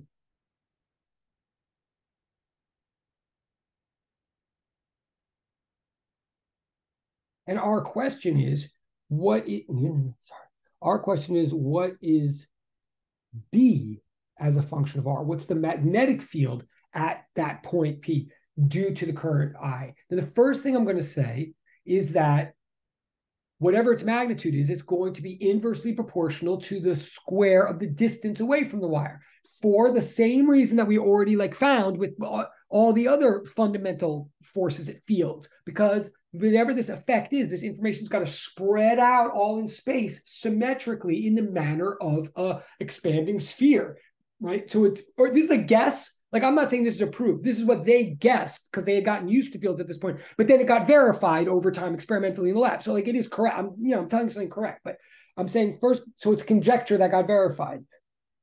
The the the, the proportionality has to be inverse r squared. Um now now what's r? R as usual. R is the magnitude of a vector whose uh, uh, pure distance is r hat, right? Same thing as usual. Don't be scared. So, so somehow, so field is a vector. It's got to be based somehow on the vector known as r. It just like the other fields, it's going to its direction will be based. Its magnitude will be based on the inverse of the square of the magnitude of r, and its direction is going to be somehow based on the direction of r. what I mean by that is somehow if you're above the wire something's going to happen but if you're below the wire something else is going to happen like with all fields. Um so this is the b field vector will be a vector based on the vector r direction and the vector r magnitude. But what else? Well there's going to be a constant as always just like capital just like gravity has a constant capital g and electricity has that uh, constant 1 over 4 pi epsilon naught we uh, okay, I'm just going to remind you again. Remember, I'm just going to remind you down here at the bottom. Remember the E field. I mean, we keep writing it, but what you really want to know in this class, the E field, remember, is this. Right? So I'm trying to follow that format or that form to construct, to conjecture the magnetic field. So you got the R squared in the denominator, then there's going to be a constant before the whole thing. Um, but uh, it's not going to be the same constant as for electricity. It's not going to be the same constant. But so we could call it like K sub B or something like that. It's going to be some other number. But now we're sort of getting used to the fact that like 4 pi is important because it cancels out with surface areas of spheres and stuff like that. So we're going to cut straight to the chase with the benefit of hindsight, with the benefit of electricity. We're going to make up a new constant and also write it um, with a 4 pi so we can in advance do cancellations and stuff like that. But the only thing is this time, since we're doing it in advance, um, since we already have the benefit of the old field, we're going to define our new constant so it goes straight on the numerator. Remember, E epsilon naught was just defined so that it all worked out like that. We're going to do the same thing. We're going to make a new constant and call it mu naught. Mu is like a little lowercase m in Greek, or it's like an m plus a u in Greek. We're going to call it mu, as in magnetism. We're going to call it mu naught, and we're going to put in the numerator because that's easier. We have the benefit of being able to do that, and we're and we're going to define it so that this all works out. I'm just going you don't have to memorize this at all, of course, but I'm just telling you what mu naught is is approximately 1.27 times 10 to the negative. I always get this wrong. Times 10 to the negative sixth, uh, and the units are something called the henries per meter. Don't worry about that. Um, hold on, I'm just gonna keep. Uh, okay, and so you don't have to memorize that. I'm just, but notice what you need to see right now. Again, I know this is a lot. Notice I'm just constructing the magnetic field in the same. Uh, okay, we could say this 1.26. I'm constructing it to model after the same rules and logic of the electric field. Now what's going to go in the numerator? Well, we're almost done. We're almost done modeling this after the electric field. But what goes in the numerator now is this idea of flow, right? Like it's not just like the electricity is based on how much charge there is. This has to be based on how much flow there is. So that means how much, like the now this is a minor technicality. I'm putting in an L there because that's like how long the wire is, because the longer the wire is, the more charge there is there. So that like plays into it. It's not, you don't have to get bogged down in it, but it's true. Um, but the current times the length of that current is what's playing the role here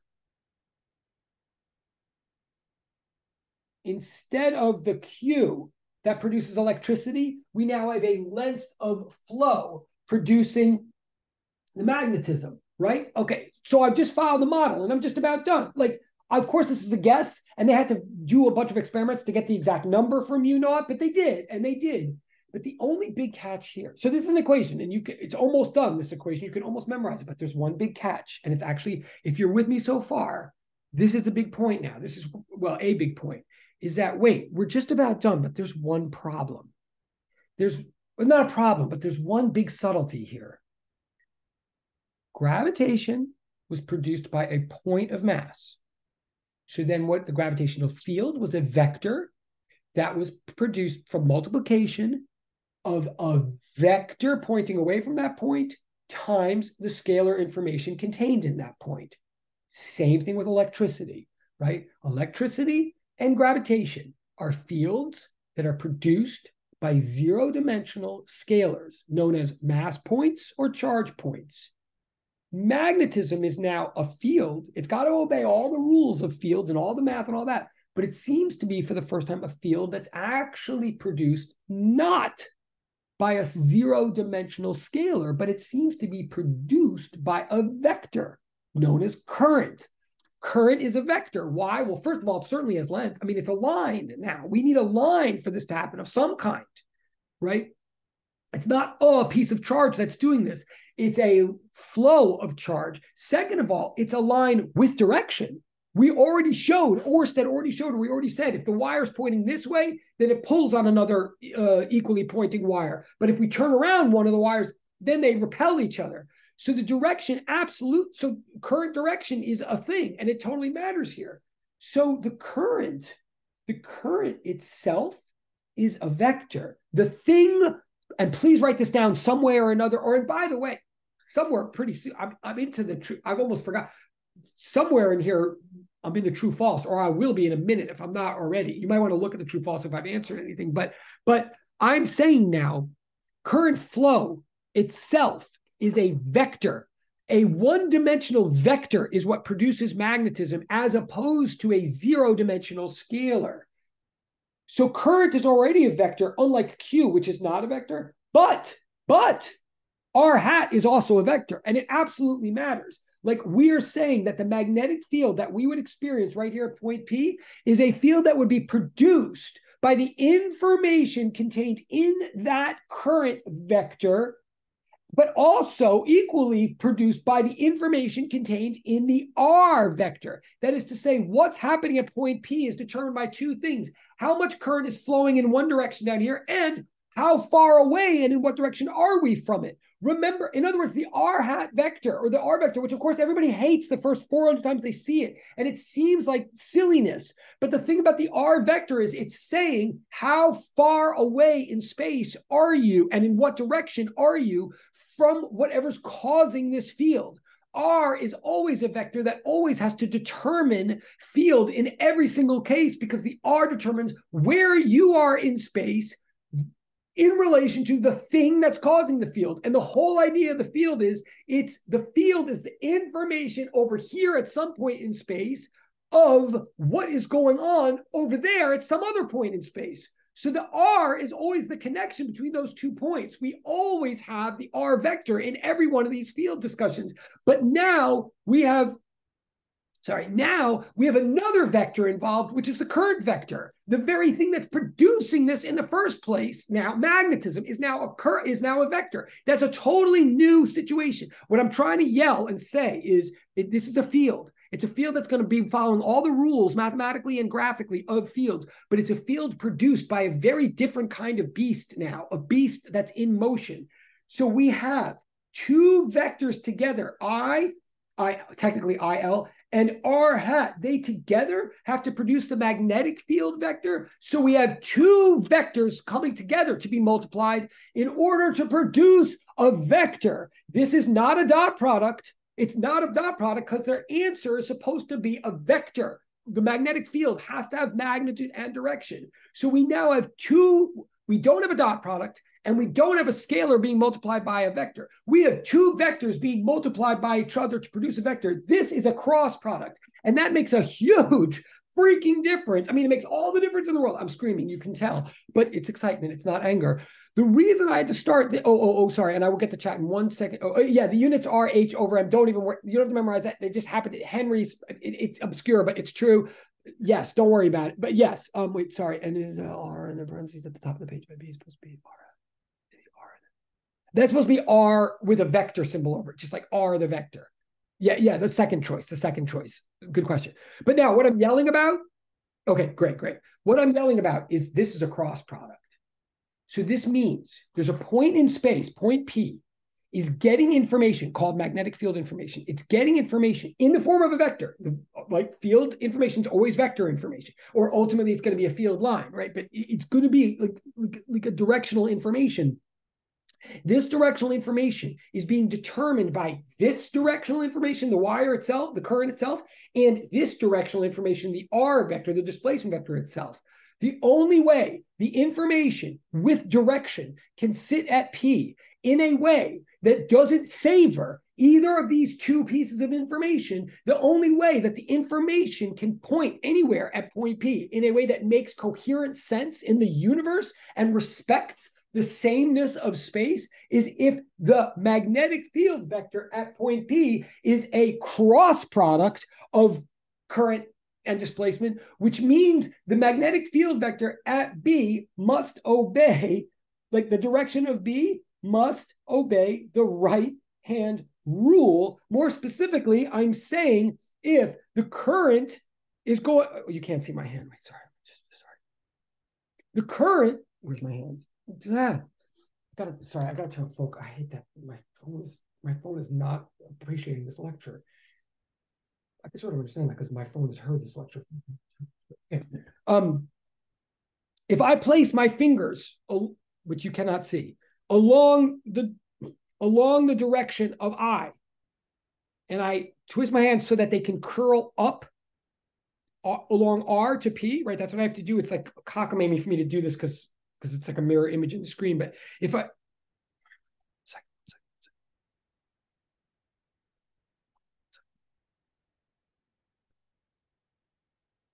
Okay, I think this will help. Let me see if that helps.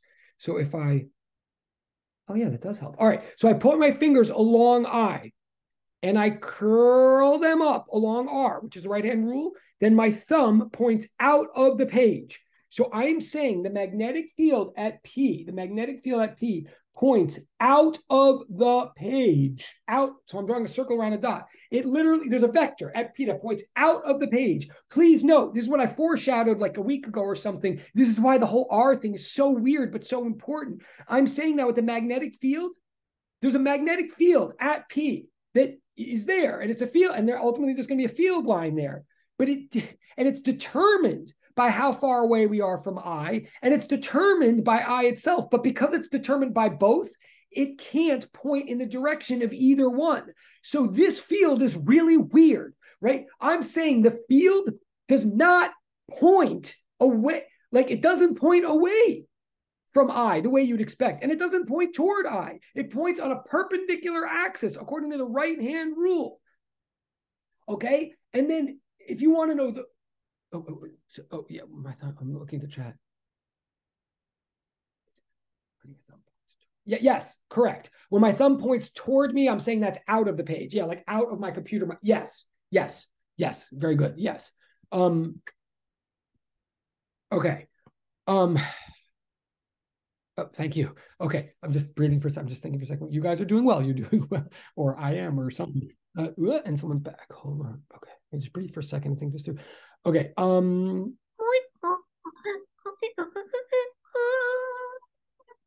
Okay. Um.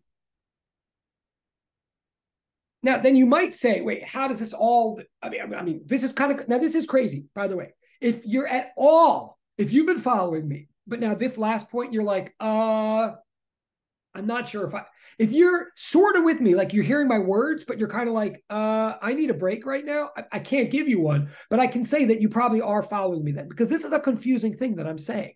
I'm saying the field is just popping out of the page. It's doing something that's literally unrelated to both things that made it.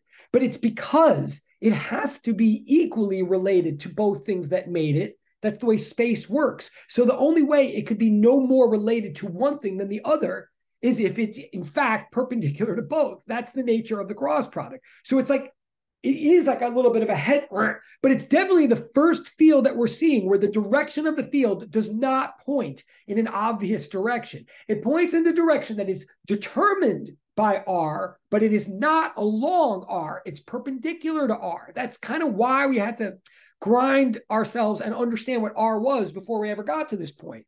Okay, now I'm going to say something else quick about this, but we're doing we're we're, we're getting there.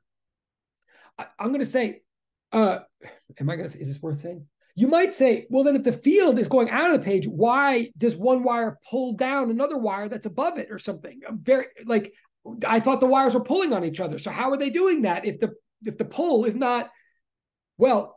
Good question. I'm going to answer it quickly. If you don't care, then the thing I'm about to say, if it doesn't work for you, just skip it. But I will say, remember, remember with E fields, the whole point of the E field was that by definition, it was the net electrostatic uh, force per charge. Therefore, the force that's produced electrically on some charge equals the charge times the E field, right? I mean, I'm just reminding you of that. So, how, what a field does is it exerts a force onto the kind of object that can receive it, i.e., a charge. Well, similarly, if all of what I'm talking about here is a field, so again, I'm saying here, I'm saying the B field looks like this.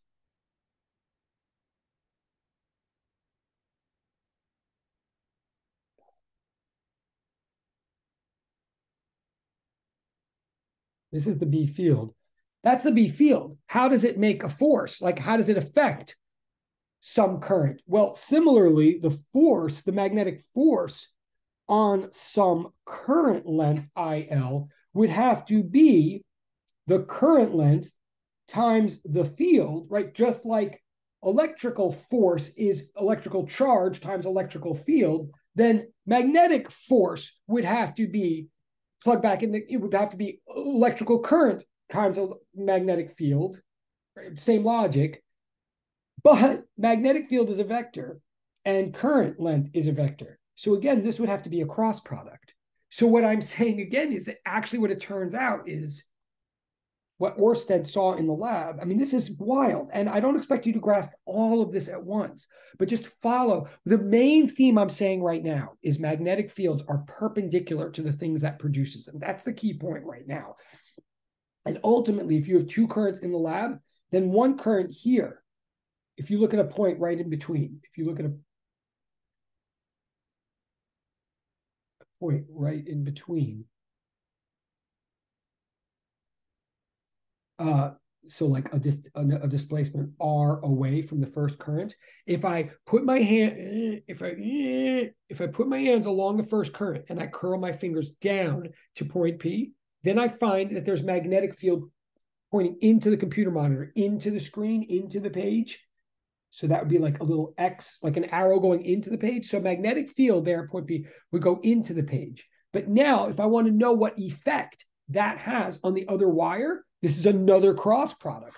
I would go to the other wire and say, put my hands along, oh, you can't see, put my hands along the other wire then curl my fingers into the direction of that X, curl my fingers into the page because the magnetic field is into the page. I curl my fingers and my thumb now points up. So I'm saying the first wire produces a field that goes into the page, bizarro. Then the second wire, because there it's in a field, like the second wire is in a field that's everywhere going into the page. But the field is going into the page but the field will produce a force on the second wire that pulls it up. There's right angle and then another right angle, and it all works out so that the two wires pull toward each other. Now, that's a lot of information. The key point right now, the key point is magnetic field lines, and this all is correct. I mean, it turns out they had to verify it all, but it's correct. So magnetic field vectors and ultimately magnetic field lines do exactly the same logic as electrical field lines, but they they follow the every bit of logic that follows from a flow of vector causing them rather than a dot causing them. So here now I'm going to say something now more this might put it all really in perspective you. What I'm about to say is really the important thing. If I'm going to look at a wire again, let's look at another wire.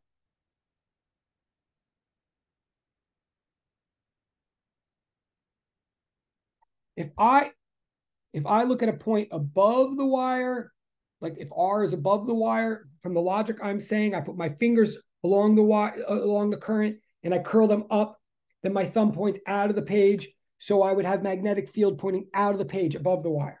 If I look at a point below the wire, like we just did a second ago, if I look below the wire, so I put my fingers along the wire and I curl, sorry, and I curl my fingers down below, and you know, so I'm always crossing current with R. That's what I'm doing every time. If I put my fingers along I and I curl down to R, then my thumb now points into the page. So below the wire, I'd have a magnetic field line pointing into the page. Above the wire, it would point out. Below, it would point in. That's not a contradiction or anything. It's surprise, maybe surprise, but it's true.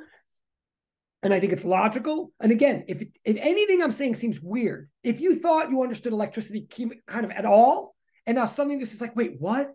The theme I'm saying over and over again is this is all the rules of field as they would crank out if what's producing the field is a vector of flow rather than a dot of of of charge. That that it makes all the difference in the world because now follow this.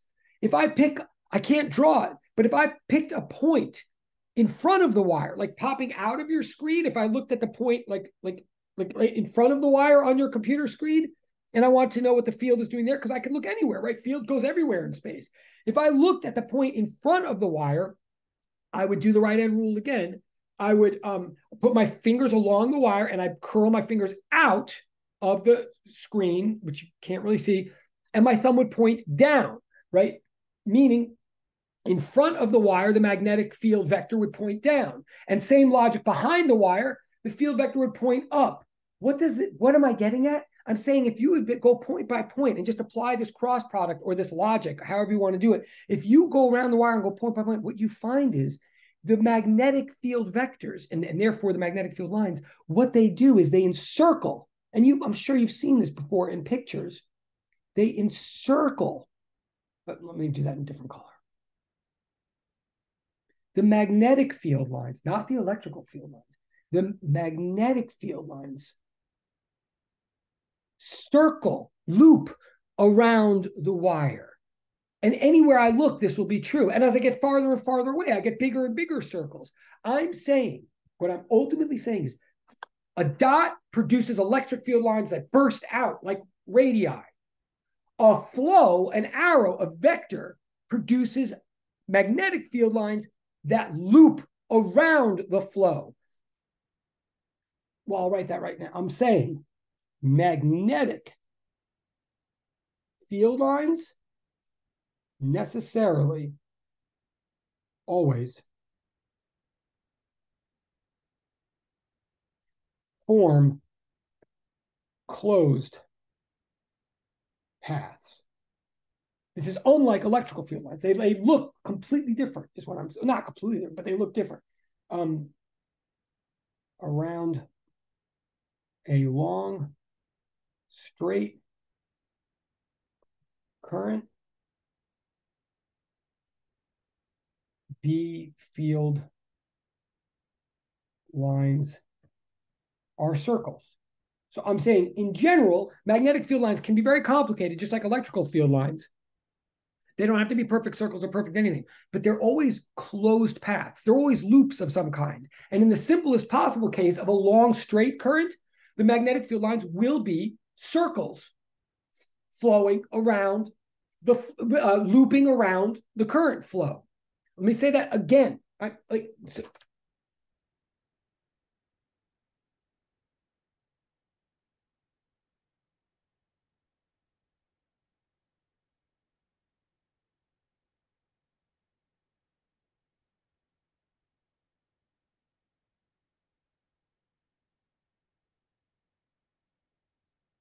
Whereas E field lines, remember, they always start at positive and then they go and they either go to negative or they go to infinity or they cut. E field lines are rays, right? And they either stop or they don't, but they they they they, they radiate, they emanate. E field line from a point goes. Magnetic field lines don't do that. Magnetic field lines don't start anywhere ever, and they don't end anywhere ever. They're always loops because they're being caused by flow. And again, remember, the whole idea of field lines is field lines are information. They are the difference that makes a difference. A field line picture is only as asymmetric as whatever source caused the field lines, right? Field lines are as simple and symmetric and smooth as they can ever be, given whatever the complexity of the source is that caused them. So another, even if you're not following all this math, or even if you hate the cross product of the vectors, in a way, take a step back. And all I'm really saying is, look, the simplest possible picture that could respect the symmetry of space from a dot is a bunch of lines going out everywhere in the same direction in the same way from that dot right like that's the most symmetric picture you could po- i could possibly imagine of what space would experience if i put a dot in space now, what we're talking about is what's the most symmetric picture we can imagine from an infinitely long or a super long flow, of vector in space? Well, the lines can't emanate radially from that. They can't because the lines that would come out would not in any way capture whether the current was going one way or the other. Put another way, you could have a line of static charge sitting on a table. A line of static charge sitting on a table would produce a bunch of spokes coming out of it. I could imagine that, but that would be static, like a bunch of protons just sitting there. In fact, let me even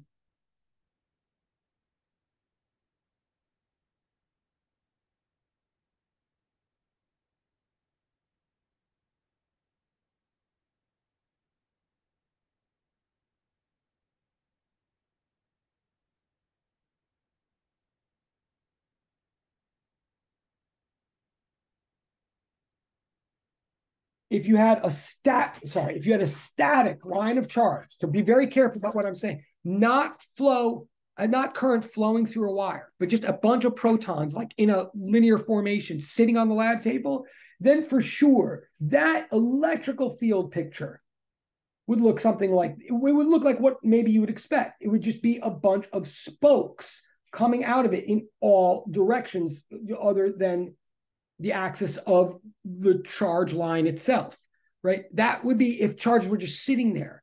That's the simplest possible picture I can imagine of field lines produced by a line of static charge. But what we're talking about here, and then I'll get the chat, what we're talking about here is the simplest possible way that space can register the information of not just a static line, but a vector of flowing charge, i.e., current, right? We and and if current, we are talking about a current source. If current current is not just a line, it's a line with direction. So those red arrows that I just drew on the page right now, they might indicate to space that there's a line somewhere, you know, amidst all the arrows, but there's no way those arrows are indicating what direction the line's flowing in. The simplest possible way and it, it comes from the cross product, the simplest possible way that space over here could know, and space over here, and space over here, and space over here could know that there's a flow over here is if it detected loops, circles, closed field lines looping around that flow. I'm going to say one last thing and then I'm going to say the chat. No, actually, let me get the chat. Hold on. Oh, oh, oh. Oh, you said thank you. Okay, okay, no problem. Okay. Um, Okay, so I'm saying in short, how either think of this in terms of math if you like, or just think of it in terms of what's the simplest possible picture. What's the least asymmetric way for space to know space over here to know what's going on over there? I'm saying so far in sum, a, a point of charge tells space that it exists by doing this that's the simplest possible picture for all of space to symmetrically receive the information that there's a dot somewhere in space. But but a flow like this tells space that it's there with flowing, I mean, with looping and I'm really bad at drawing this as you well why am I so bad at drawing this well because I'm bad at drawing but also because if you notice what's really happening here is that now we're forced to take into account the three dimensionality of space The cross product alone forces us to deal with the three axes of space and specifically magnetism, like literally can't even make it doesn't make any sense in a two dimensional, in a flat land. Um, so this is just representative as always, but I'm saying these would go on forever. The farther away you get, the you know, the bigger the circles would be, and the less dense they would be, and all that stuff. But the bottom line takeaway, I know we have 40 minutes now. You're doing great, I, I think. Um, it seems like. What's the takeaway right now? Electrical field lines are radial. They go from sources to sinks, even if the sources or the sinks are infinity. But magnetic field lines are necessarily loops, are necessarily closed paths. So another way to put what I'm saying is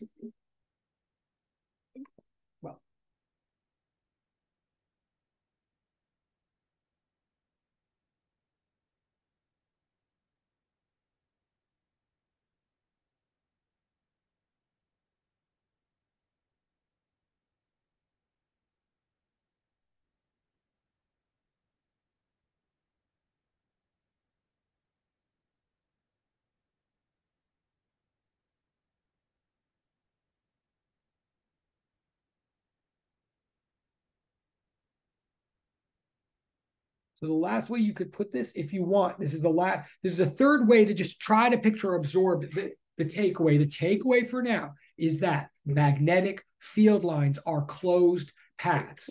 I mean, you know, and I'm hoping to persuade you that that actually makes sense, that we didn't just make that up to annoy you. Obviously, in the end of the day, even if you can't make sense out of it, it's still true, and you might want to consider accepting it. But, but, but I actually think it does make sense. I think it's like okay, I just okay. Um, like when I first saw all this right hand rule stuff and all these clothes, I really thought like, oh my god, like this is out of nowhere. Like, what is this? This is a whole new set of rules. Why is magnetism so weird? What I'm trying to persuade you is that actually magnetism is as unweird as it could possibly be. This is actually the simplest way we could understand a field phenomenon if the field phenomenon was being produced by a flow rather than a dot. It really all comes down to that. So what I'm really saying again is if you go back to that picture of like you guys in lab 3 sending pulses back to one another on the on the long string, like you send a bunch of horizontal pulses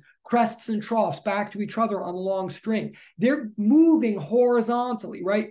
But eventually, if enough of them are moving and enough of them are interfering, they fall into a pattern of patterns, right? Eventually, they keep canceling each other out. They keep changing each other so much that they eventually change each other in a constant way. And they fall into a new formation that itself is just as steady as the old one, but different right? So eventually, instead of seeing this, this, this is an analogy. I'm not saying that's literally happening, but it's an analogy. I'm saying when those crests and troughs keep interfering with each other, going back and forth like this, you eventually just see wah, wah, wah, wah, wah. Like it's a new pattern. It is a pattern, but it's a new one. Same thing here. If you picture a bunch of electrons like moving down, each one of which bursting out with with with radial field lines in all directions if all those radial bursts were moving all together all like forever, all at a constant rate. Eventually, all of those the, the, the, diagonal lines of all those bursts, those asterisks, would be canceling each other out and they'd fall into a new formation. And the new formation is this it's the simplest possible formation that isn't that one. It's closed paths around the line. So, what you want to think from now on is a charge sitting here produces an E field like this but a, cha- a continuously flowing or changing E field produces this. Now, so what?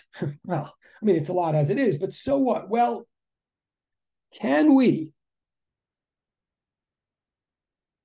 apply our concept, our concepts of open and closed to this? Like we seem to be coming up against these open paths closed paths uh, like again and again. And then there's open surfaces and closer like can we do anything with this in the name like can we use flux here? You're like oh no.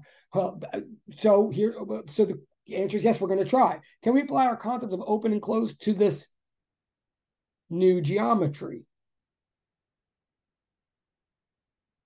Like now the good news is like does gauss's law apply? Well yes and no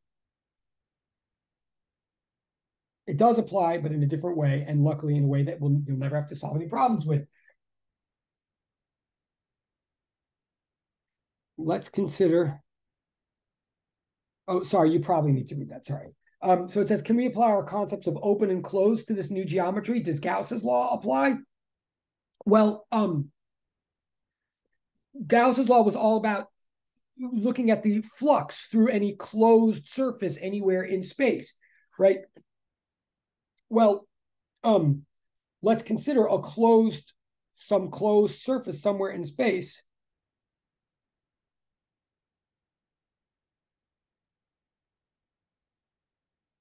maybe one with a bunch of currents inside instead of charges, a bunch of currents inside. Like, so here's, I'm close. So we have like a current going like that, and a current loop going like that, and you know, I don't know, and a current loop. I'm just just totally random, but let's say we draw a box in our mind around some bunch of currents or something.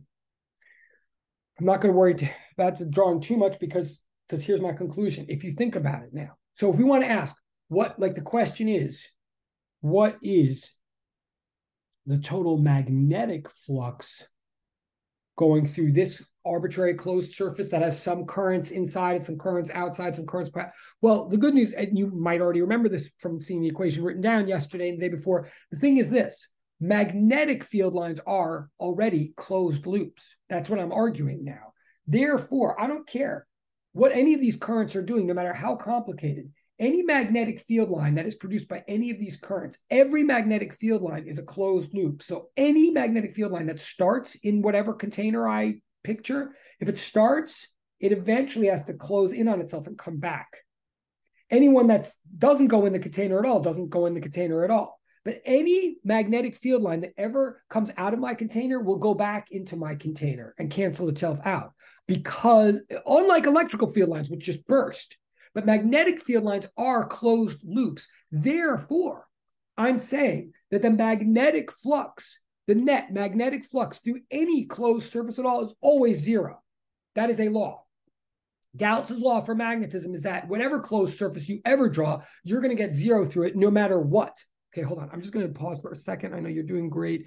I can't give you, but I'm just going to, I'm going to look, I'm just going to take my own refresher at your, um, I'm going to look at your questions just to see, uh, make sure I'm sort of answering some of your questions for you.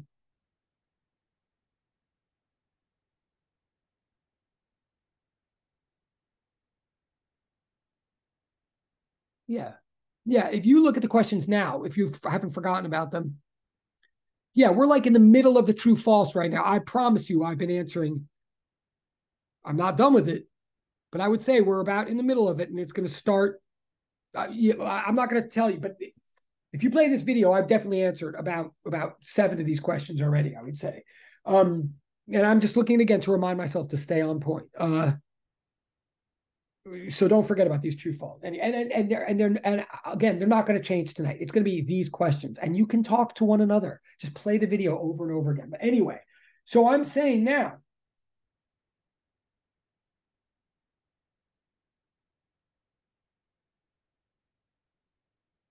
I'll give you a hint right now for anybody who's listening right now. In the middle, so I don't know which question is, but it says a long, straight, continuous flow of positive charge current causes infinitely long lines to radiate straight out from it.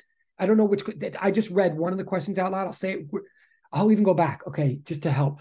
A po- I'm going to go back one question. A positive point source of electric charge causes closed paths of field lines to loop around it.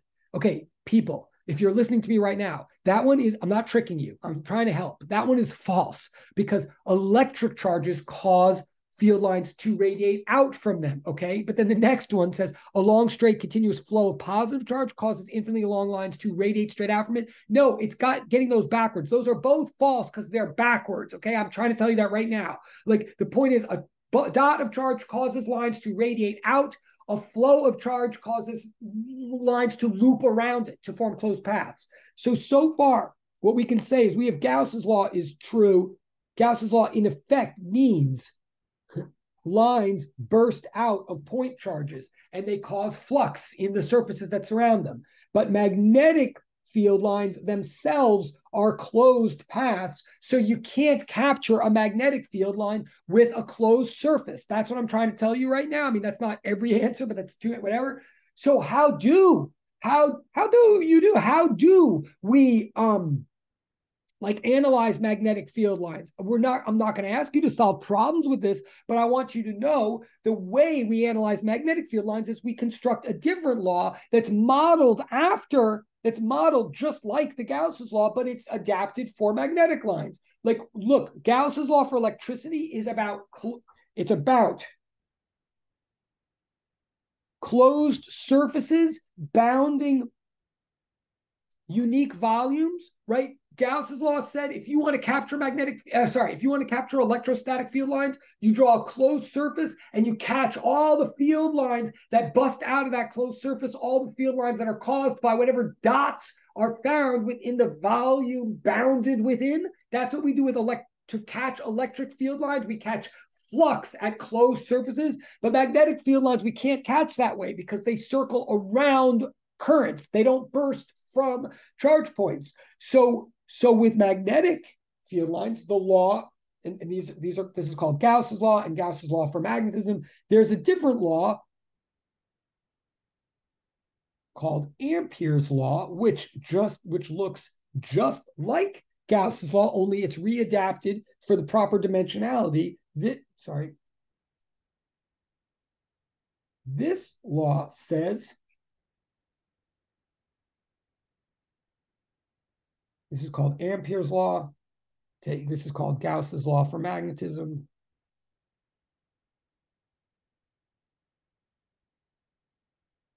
Okay, and the first one's called Gauss's law, as you know. Now, this Ampere's law, remember we said yesterday, somewhat obscurely, I'm just putting the zoom back on. We said, oh, wait, there's things in the chat. I'm sorry. Hold on, hold on. Oh, oh, oh. Wait. Oh, your questions are in a random order? Oh, I'm sorry. Okay that wasn't on purpose. They would be in a rant. Uh, that was not on purpose, but it's too late for me to do anything about it. Now, I apologize. That wasn't meant to be. I guess that did happen. Thank you for noting. All right. The questions were not meant to be in a random order, but they are, and there's nothing I can do about it. So you have to look around I'm sorry. But again, I'm telling you right now, if you're sticking with me here and you're doing the right thing, I'm not going to change them tonight. Like you basically are looking at your final exam right now. And, and the stuff you did in lab today is your final exam. The only thing I'm going to change tonight is the point values because tonight you're going to do a total of two problems either the true false and one of the three if I make you do it that way, or it'll be two out of the you see what i'm saying? But okay just just know that whatever you're looking at now is the deal. That's the best thing i could do. Okay wait of course. But thank you bradley. I did not realize that. Uh wait oh and to hold on. Okay okay. So yes there's also a question in the direct chat. Magnetic field lines are closed paths. Yes and that's super important and always true. Electrical field lines are not. Magnetic field lines are also, you can think of what magnetic field lines are the things that happen when we change electrical field lines in a constant way. Okay. So how do how do we um, compute magnetic field lines? Well, we actually look at closed paths. Notice this third law I'm just introducing to you now. You never have to solve with it. I just want you to see it because it's like so famous and classic and important. This third law follows the model of Gauss's law, only it's a single integral now. It's actually easier. It says, look at, and it's closed path integral of b dot dl, not ds. It's not a surface, it's a line, it's a path. It's just like, uh, it's just like, like, like f dx integral means work, which is transfer of energy. This one says, if you look at any, and write this down somehow your way, if you look at any closed one dimensional region of space, if you look at a closed path, okay, the mag- total amount of magnetic field around that closed path, because that's what magnetic fields do, they cause closed paths.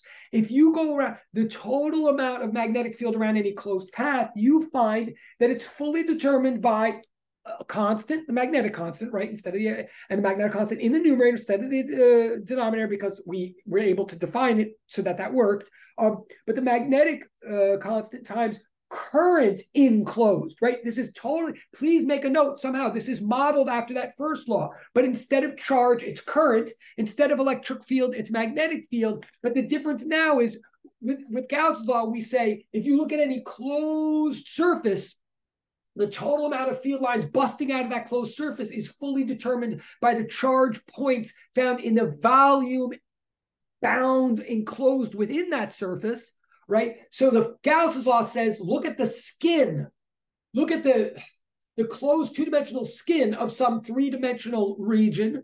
The field lines busting out of the skin, just like water jets busting out of a tent, are fully determined by the dots of charge, just like the sprinklers within the volume of that region. Now, in magnetism, we bring it down a dimension. We say, go to any closed path. The total amount of magnetism around that closed path is fully determined by the current enclosed by that path. What do I mean by enclosed?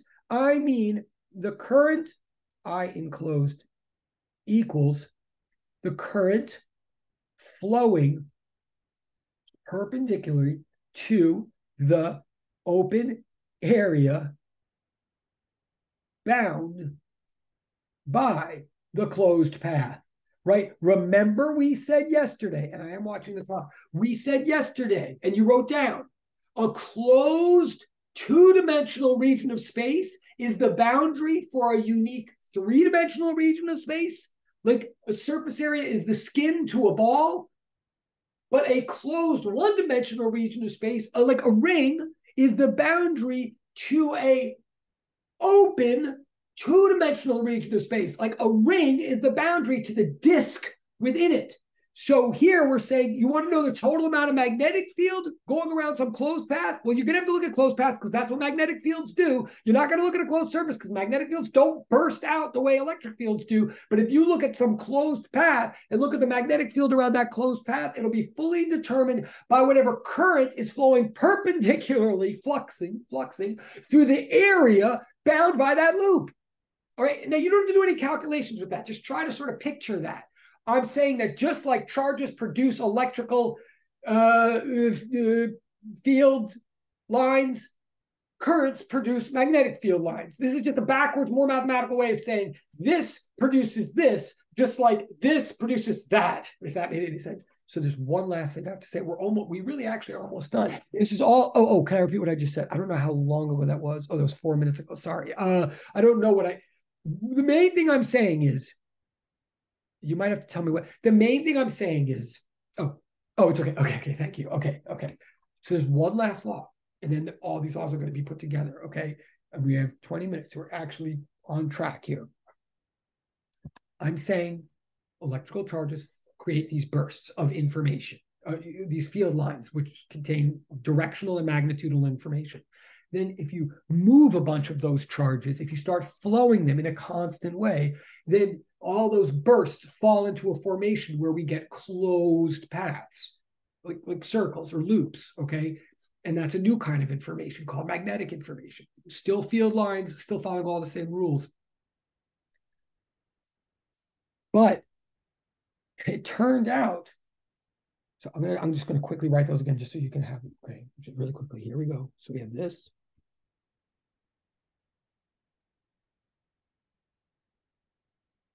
And we have this. And you don't have to solve problems with this. Just try to follow what it means. So this is called Gauss's law, Gauss's law for magnetism.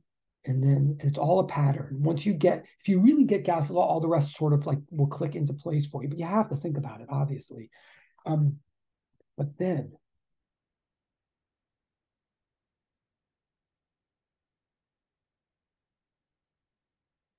Faraday, the same man that gave us all this concept of field of field flux in the first place and who really discovered how the magnetic flux works from iron filings and all that. Michael Faraday was actually a Scottish high school chemistry teacher.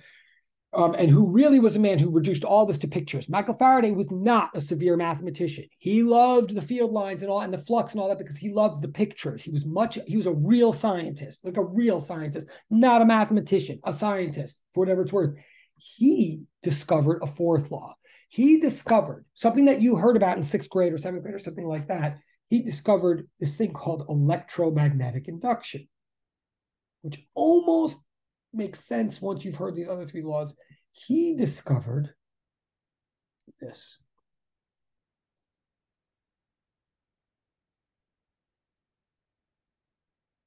Now, again, just try to absorb. Look at the right side first. He discovered that if you make the right side, just look at, we're going to go backwards piece by piece. The right side is a double integral again of magnetic flux, right? The right side is magnetic flux, area integral of B times ds, but it doesn't have a circle on it. It's not a typo. The, I'll try to even.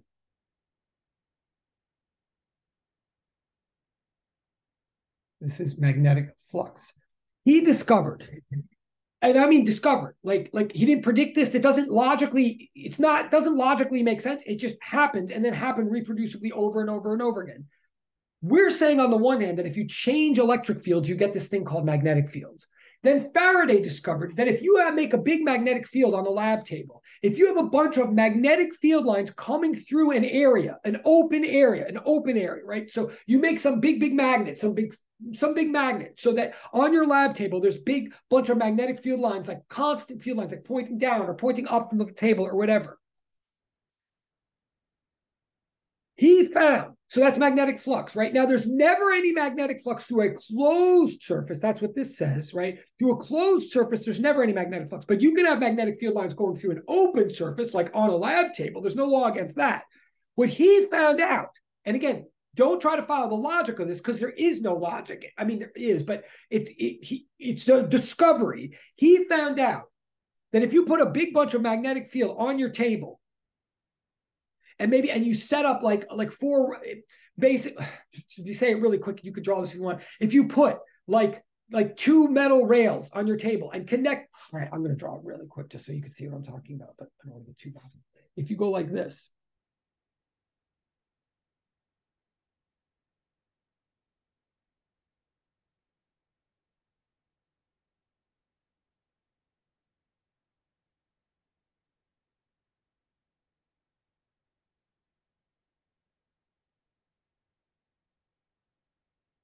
Okay.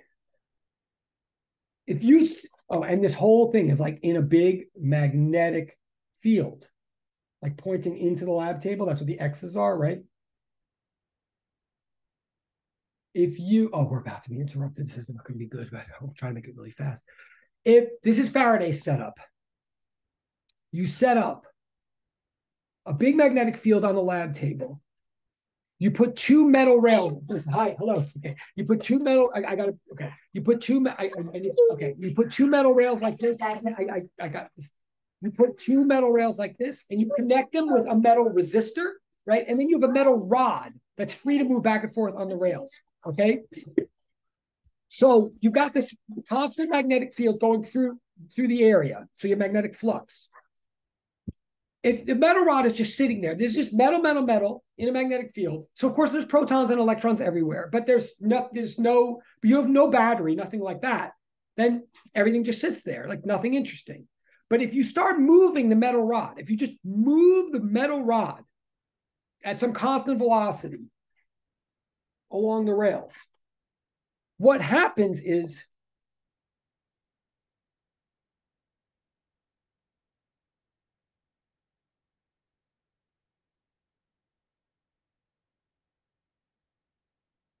cut to the chase.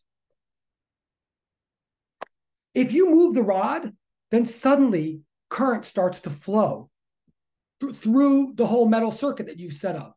And the current starts to flow like you can measure the current times the resistance in that resistor. You can measure and you'll see there's a potential difference across the resistor. Like if you move the rod, current starts to flow. In other words, if you, and uh, which is, in other words, you get a current with no battery at all. This is a huge breakthrough in technology. This is called electromagnetic induction. This is using a magnet in order to produce electricity. I mean, of course, you've heard of this in a way, I'm sure. Um, but let's be very so it has huge industrial like like implications. I mean, it turns out that this idea that just by moving a rod through a, a magnet or magnetic field, suddenly we get electricity with no battery whatsoever is so huge that ultimately this is a generator. This is how we make generators and we make power plants. And suddenly there's the industrial revolution, literally, thanks to this.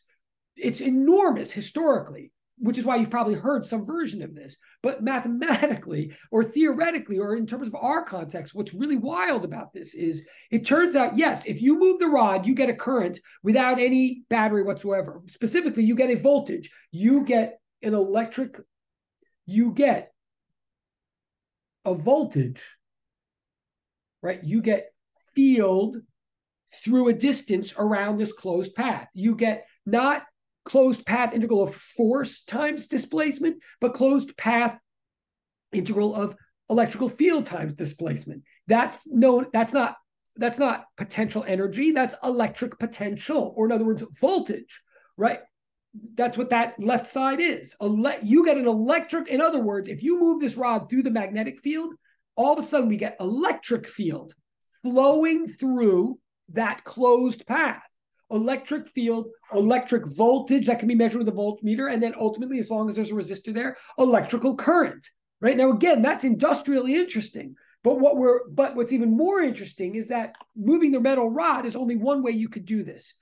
Another way you could do this is just pump more magnetism into the plane, and the same thing would happen. You don't have to move the rod, you could just increase the magnetic strength through the plane, or you could do both, or you could move the whole apparatus. What am I getting at? I'm getting at what Faraday realized was that as long as there is a time rate of change, you see the DDT, as long as the magnetic flux through an open area changes in time, that will induce an electrical field in the closed path bounding that open area.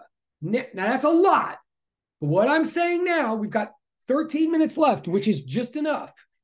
Uh, now, that's a discovery. Don't try to make sense of it like, why should that be true? Because it shouldn't be true. It just evidently is true, literally. Just try to make sense of what I'm saying. What I'm saying, what Faraday discovered, is it the reason you've probably heard of generators and power plants all have like these moving magnets that go back and forth, and that's where we get electricity from? What we're saying mathematically, what the essence of that is, is we're saying that just like the magnetic field line around a closed path is determined by the current fluxing through the area bound by that path, it also turns out evidently that if you change the magnetic field fluxing through some open area, you'll generate, you'll induce, mean, nature will generate or induce electric field in the closed path bounding that open area. It is a lot of geometry that I'm saying. Forget the geometry for a minute. What I'm saying is that evidently points of charge produce electric field information. Then you start flowing or changing or moving those electrical charges, they produce a new pattern of information called magnetic fields, which are closed paths.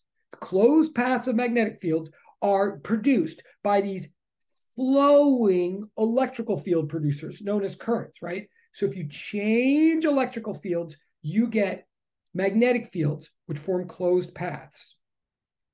Now, this law, electromagnetic induction, says in effect that it goes in reverse as well. In effect, if you if you change the magnetic field, that's flow. So if, if you do the same thing, but to the magnetic field, if you've got a magnetic field line that's going like this, if you think it's the same logic, really, I'm saying just like electrical current going like this produces magnetic fields going around it.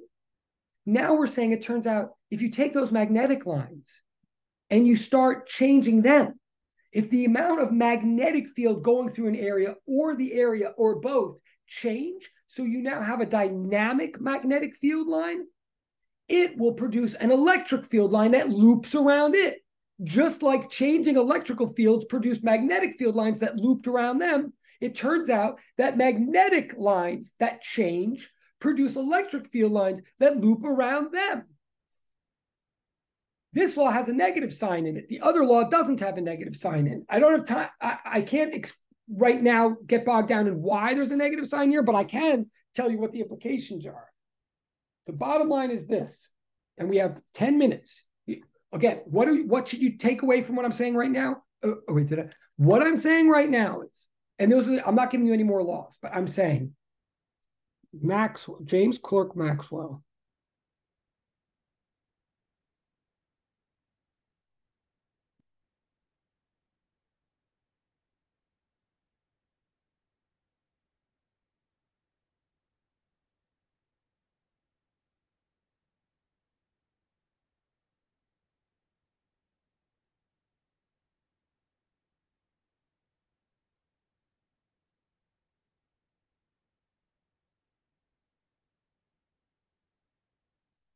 James Clerk James Clerk Maxwell in 1879 looked at these four laws that I just laid out for you: Gauss's law, Gauss's law, Ampere's law, and Faraday's law. And he developed a whole branch of mathematics called uh, vector calculus and rewrote these all in vector calculus terms and thought through the vector calculus and then made a correction on one of the laws. You could write that down or not, and and put the laws together because what he noticed was, well, largely his program was mathematical but if you stand back and think about what I'm saying, I'm saying, and here's where, again, these are true false questions coming up. The true false questions about like quadratic functions or algebraic functions, or that's what I'm about to talk about right now. And I know we have nine minutes.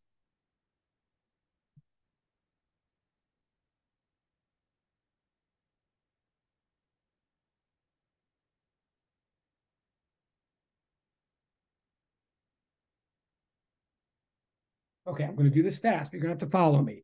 Imagine if you have a current that's some function of time. Start with, say, it's a constant current, just I naught. If it's just a constant current, then it'll produce magnetic field lines around it. And that and the magnetic field lines are in effect determined by it. And then, but they don't, it doesn't have a derivative. It's constant current. So they don't have any, so they're not changing. So that's it. Ma- a current will produce magnetic field lines that go around it. End of story.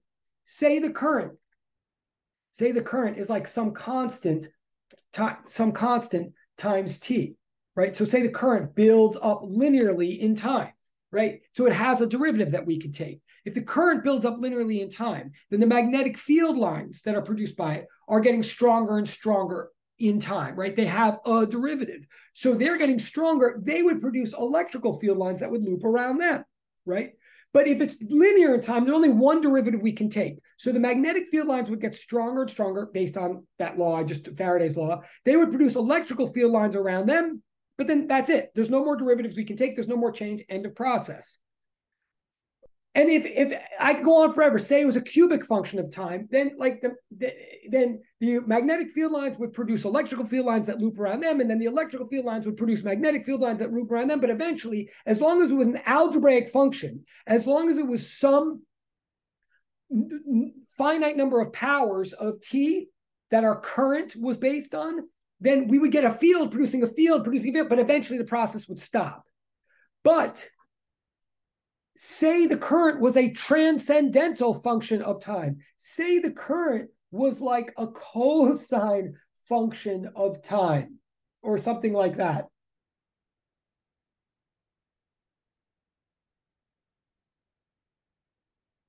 As you know from this whole course, you can take derivatives of cosine forever, right? So if the current was washing back and forth like AC current does, if the current is going back and forth in a cosine function, then the current would produce a magnetic. So current going like this would produce current going like this would produce magnetic field lines that go like that. But the magnetic field would be increasing like a sine function, right? So those magnetic field lines would produce electrical field lines that would loop around them. So it would be something like that, right? But then the electrical field lines have a derivative. So they would produce a magnetic field line that would go like that around them, right? And if it's like a cosine function or something like that, these fields would keep producing these fields forever, forever in time and space, right? You'd make a every field line would be a rate like a closed loop, and that would make another closed loop, and then another closed loop. And because one of these laws happens to have a negative sign and one doesn't, for reasons I can't go into right now, that means that you'd make a loop, right? You make a loop, and then you'd make a loop perpendicular to it, but then then the next law would have a negative sign. So in other words, you would go in one direction then you'd make like a left turn. Then you don't have a negative sign, so you'd make a right turn. So then you do have a negative sign, so you'd make a left turn and then a right turn. You would alternate. So these rings would not ring back on themselves. If you made current that was a transcendental function of time. It would produce field lines that would produce field lines, which would produce field lines, each of which is a closed loop, but the whole series of which would not close back in on itself because it would be like a left turn, then a right turn, then a left turn, then a right turn, because the two laws, one of them has a negative sign and one of them doesn't. So these closed, and I know we have five minutes left, and we're just about there, and you're bear, you're doing great, I think. Um, I'm saying because apparently changes in electrical field known as mag- cause magnetic fields which loop around the electrical field lines. And then changes in magnetic field lines apparently cause electrical field lines to loop around them and vice versa vice versa. As long as we make the original source be a non non finite power of time if we make the original source be like a cosine function then we're going to make way uh, sorry we're going to make field lines that ripple out forever in space that go out, that pulse, pulse, pulse, pulse, pulse. The field lines will ripple out in space and time from the original source. In this case, according to all this, the field lines must ripple or propagate out in the manner of a wave. And Maxwell put those four equations together and solved them, coupled them, decoupled them, and found out that indeed the, the electric field line and the magnetic field line each will obey the wave equation, like literally, like we've been studying. In every single axis of space, if you produce fields like this, oops, sorry, you will get, and we have three minutes left.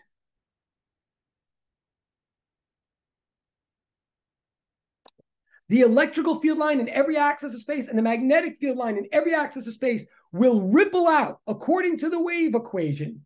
According to the wave equation, and you know from the wave equation, whatever this constant is right here is the square of the speed of the wave, right? And the constant is just those is one over those the magnetic permeability and the and the electric permittivity constant mu naught and epsilon naught.